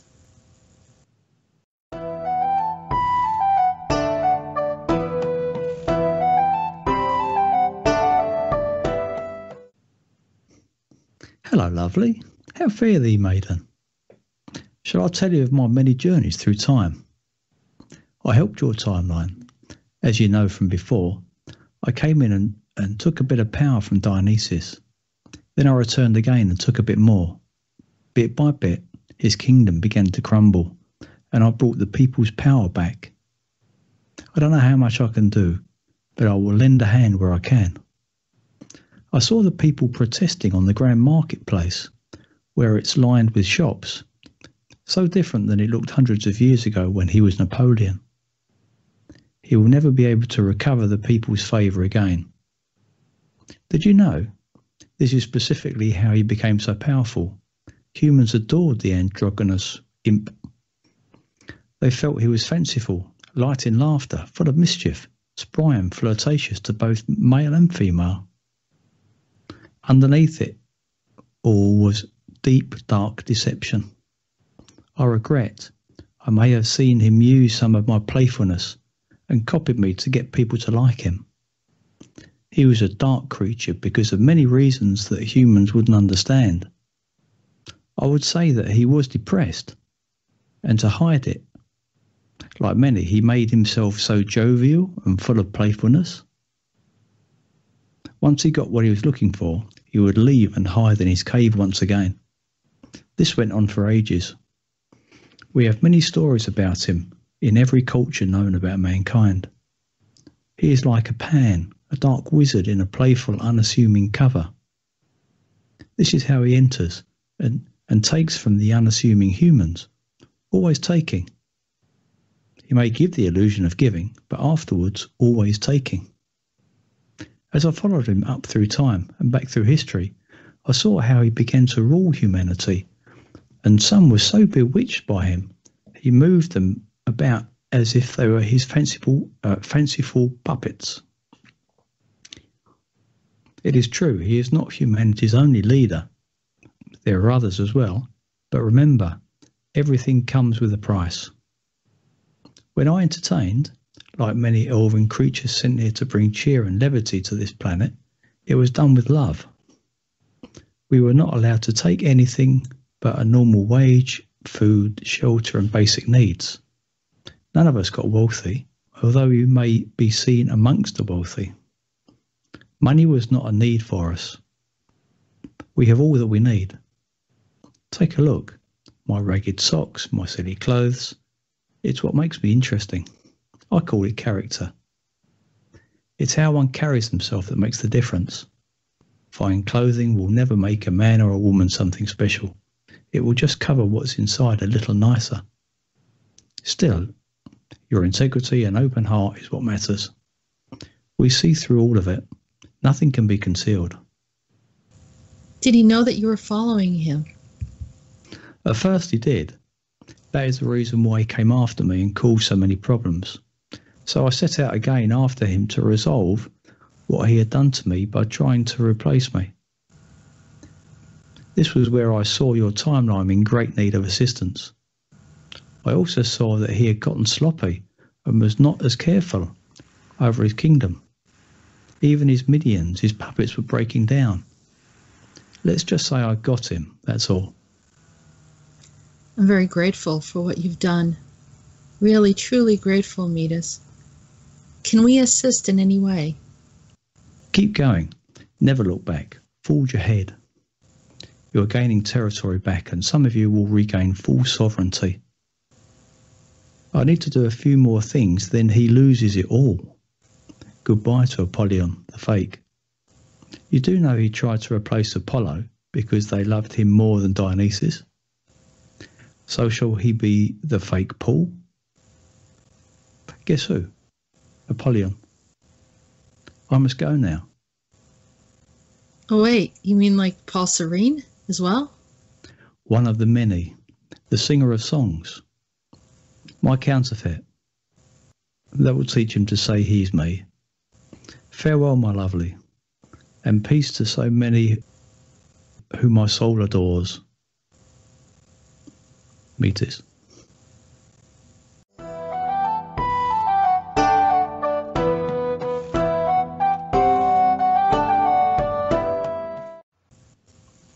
All right. I mean, I, I don't want to go from the top and go down. We let's let's just go right for it. I mean, he he says the fake Apollo, Apollo, Apollyon, the fake Paul, and so I'm thinking Paul Serene, and then of course the fake Paul, Paul, uh, Faul, right? Um, well, the Beatles. Hmm. It, you know, when you start thinking of it's all related to music and entertainment. Yeah. So then I was like, "Whoa!" Is he saying that that uh, Dionysus is Faul? Faul yeah, McCartney. Because, yeah, there's been that, that big whole thing about the full McCartney, isn't there? I, you know, I, Even Ringo Starr kind of came out with it, didn't he? yeah. And, well, I mean, I've heard the story. We've talked about this in the show. I don't know, a couple years ago, probably. And I haven't thought about it a whole lot. And then recently, you know, I'm going onto YouTube and just looking at things, and it kept coming up about uh, that Paul is dead. And of course, you know, all right, so I've seen that, you know, I don't need to look at it again, but something about some of the videos were drawing me in, and I, I looked at it. Now I, and and then when he said this today, I looked at it and said, oh my gosh. Uh, so, you know, there's a link in Dionysus coming in many different forms. And so, does that mean that Dionysus is connected to Paul Serene, to the fake Paul? Um, unbelievable. Mm. It, I, it really made me step back. And he It was just leading me up to this. Yeah, it seems anywhere where there's going to be a big influence, he pops up. Right. And that's, got big that's le- audience there, isn't he? big audience. Yeah. Hey, look at me. You know, I'm the the guy in entertainment. You know, Paul Serene, um, being involved with Hollywood movies. And, And- how they and- can make him look so much like the the other Paul. The other, yeah, yeah, Paul McCartney looking. I mean, it looks like something out of the Clone Centers, right? Mm. Yeah, the whole thing's really, really weird. So, uh, anyhow, um, let's see what else does he talk about. Yeah, there's lots there, isn't there? Yeah, yeah. And so little by little, he's going after Dionysus because Dionysus is trying to, you know, take away his um, his identity. He's also messing with him. I mean, and, and Midas has permission to be here on the planet.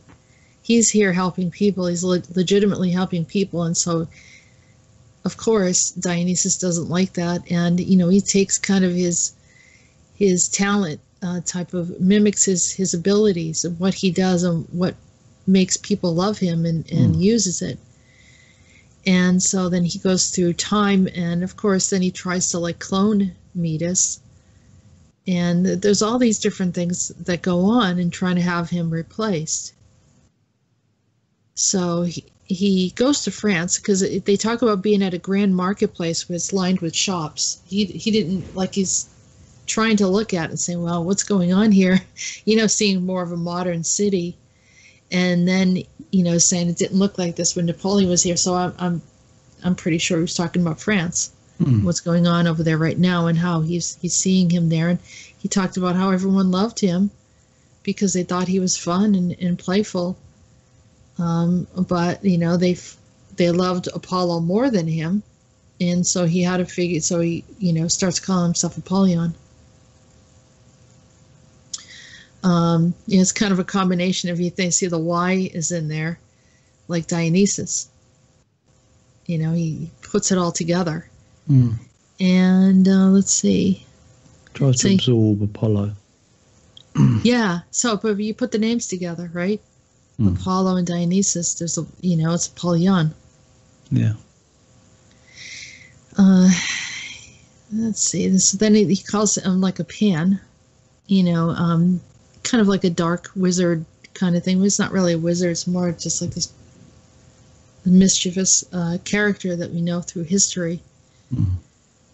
And But he did say it, it was in every. he said it was it was quite widespread, and you know because if you think Napoleon and he's back in France again, it will be kind of Europe based. But he did mention that um, he was in a lot of cultures. Yeah. Oh, absolutely. In order to have power over humanity, he couldn't just be in one culture. So, yeah, there's various cultures that embrace the whole pan, pan mentality, Hmm.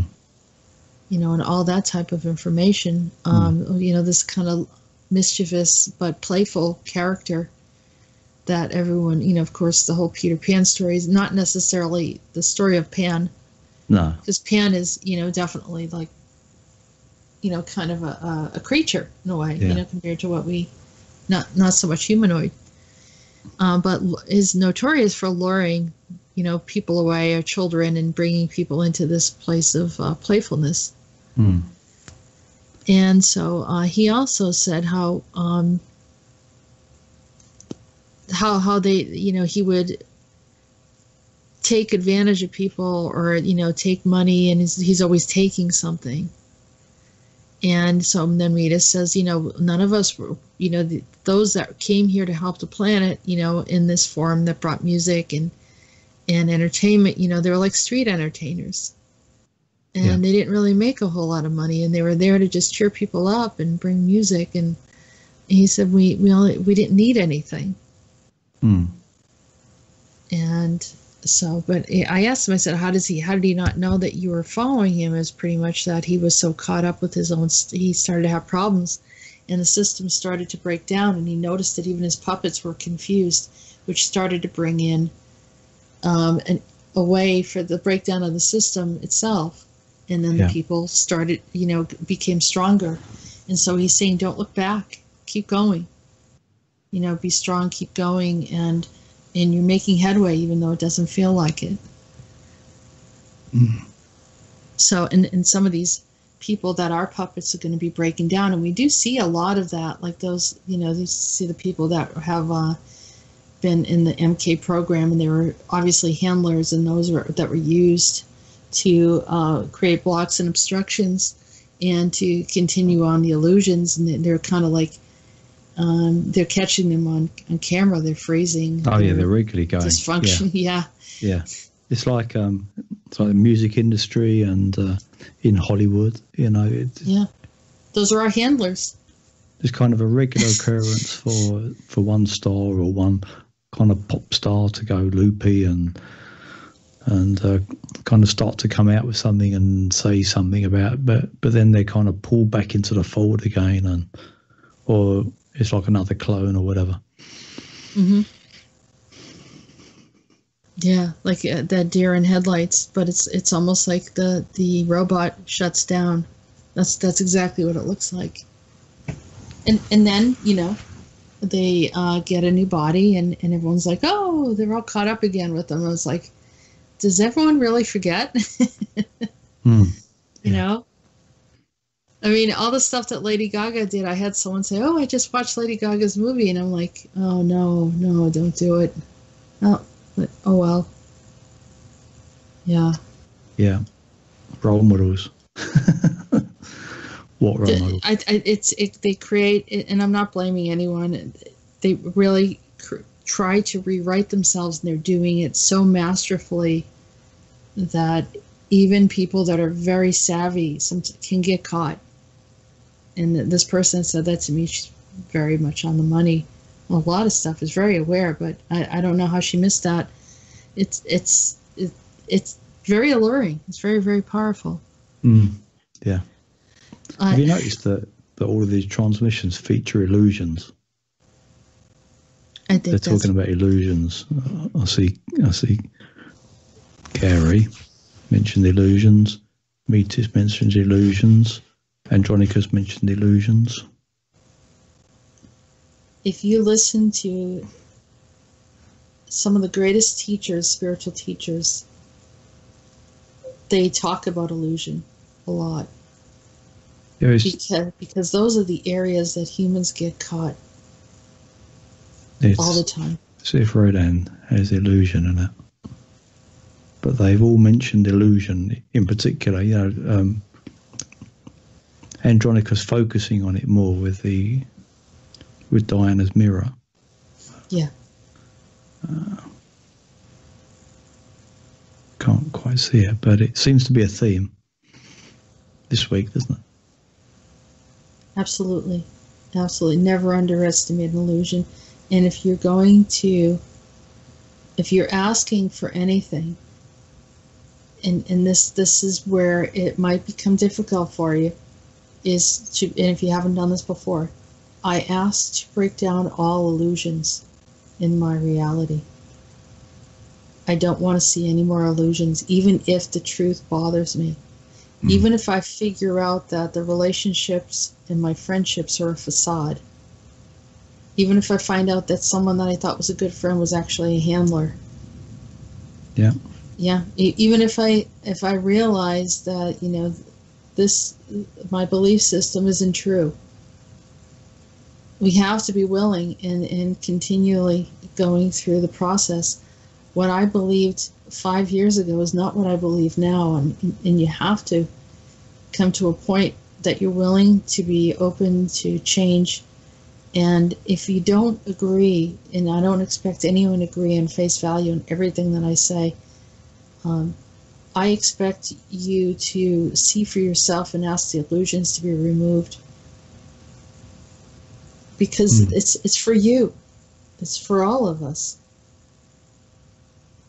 I I had to learn. Everyone has to learn. We all have to figure it out, and no one should just trust what anyone says in face value. We we need to um, be able to see through it ourselves Yeah. and to trust it. And if it feels like truth in our heart, and you know, even in all my sincerity, I could be telling you something, and then there could be something that's not true, but I'm not deliberately trying to deceive it. There's a that that I know that you understand that I'm not deliberately trying to mislead anyone in any way, but it doesn't mean that I know it all. And and there's many different pieces to this puzzle that have not been pulled together and resolved yet Mm. and we need, we do need some more work to figure this out. We're not out of the woods yet. I said this before, still saying it. We have to keep Yeah. going. But for everyone, I would I would highly recommend. Um, I ask that I can have all illusions broken down around me, in all time dimension realities, even in my dream space. I don't want any illusions coming into my dream space. I want to see through whatever's coming through. Mm. I want to see through who's ever in my life. And I want to have the strength to be able to face whatever it is and the and the wisdom and how to manage it. Yeah. And it's a fairly safe bet that if you're living at this time in this three dimensional reality, you're living in a land of illusion. to quote a term. This is the next step. So maybe you you needed to bring up the, the comment of illusion because this is the next step for us. It's time for us to break the mirror, Yeah. to remove the illusions of our we'll- lives. Yeah. I think we'd be pleasantly surprised at what we find. Yeah, m- maybe not pleasantly surprised, but definitely surprised. Well, to start with. yeah, yeah, Yeah, we've all been too well conditioned. Well, with that said, I want to leave it on that note. So hopefully, all of you, like the revocations, you know, revoking anything that doesn't belong in your life, breaking all ties that you don't need to be connected to, and um, allowing the illusions to drop off, I'm going to leave that with you right now. Hopefully, you do it after the video's over. And I want to say thank you to you, Ian. Thank you so much for contributing some really good points and conversations and reading through the transmissions. Yeah, thank you, Jess. Okay, Happy New Year to everyone. Thank you. We'll see you again next week. for the 15th century. We started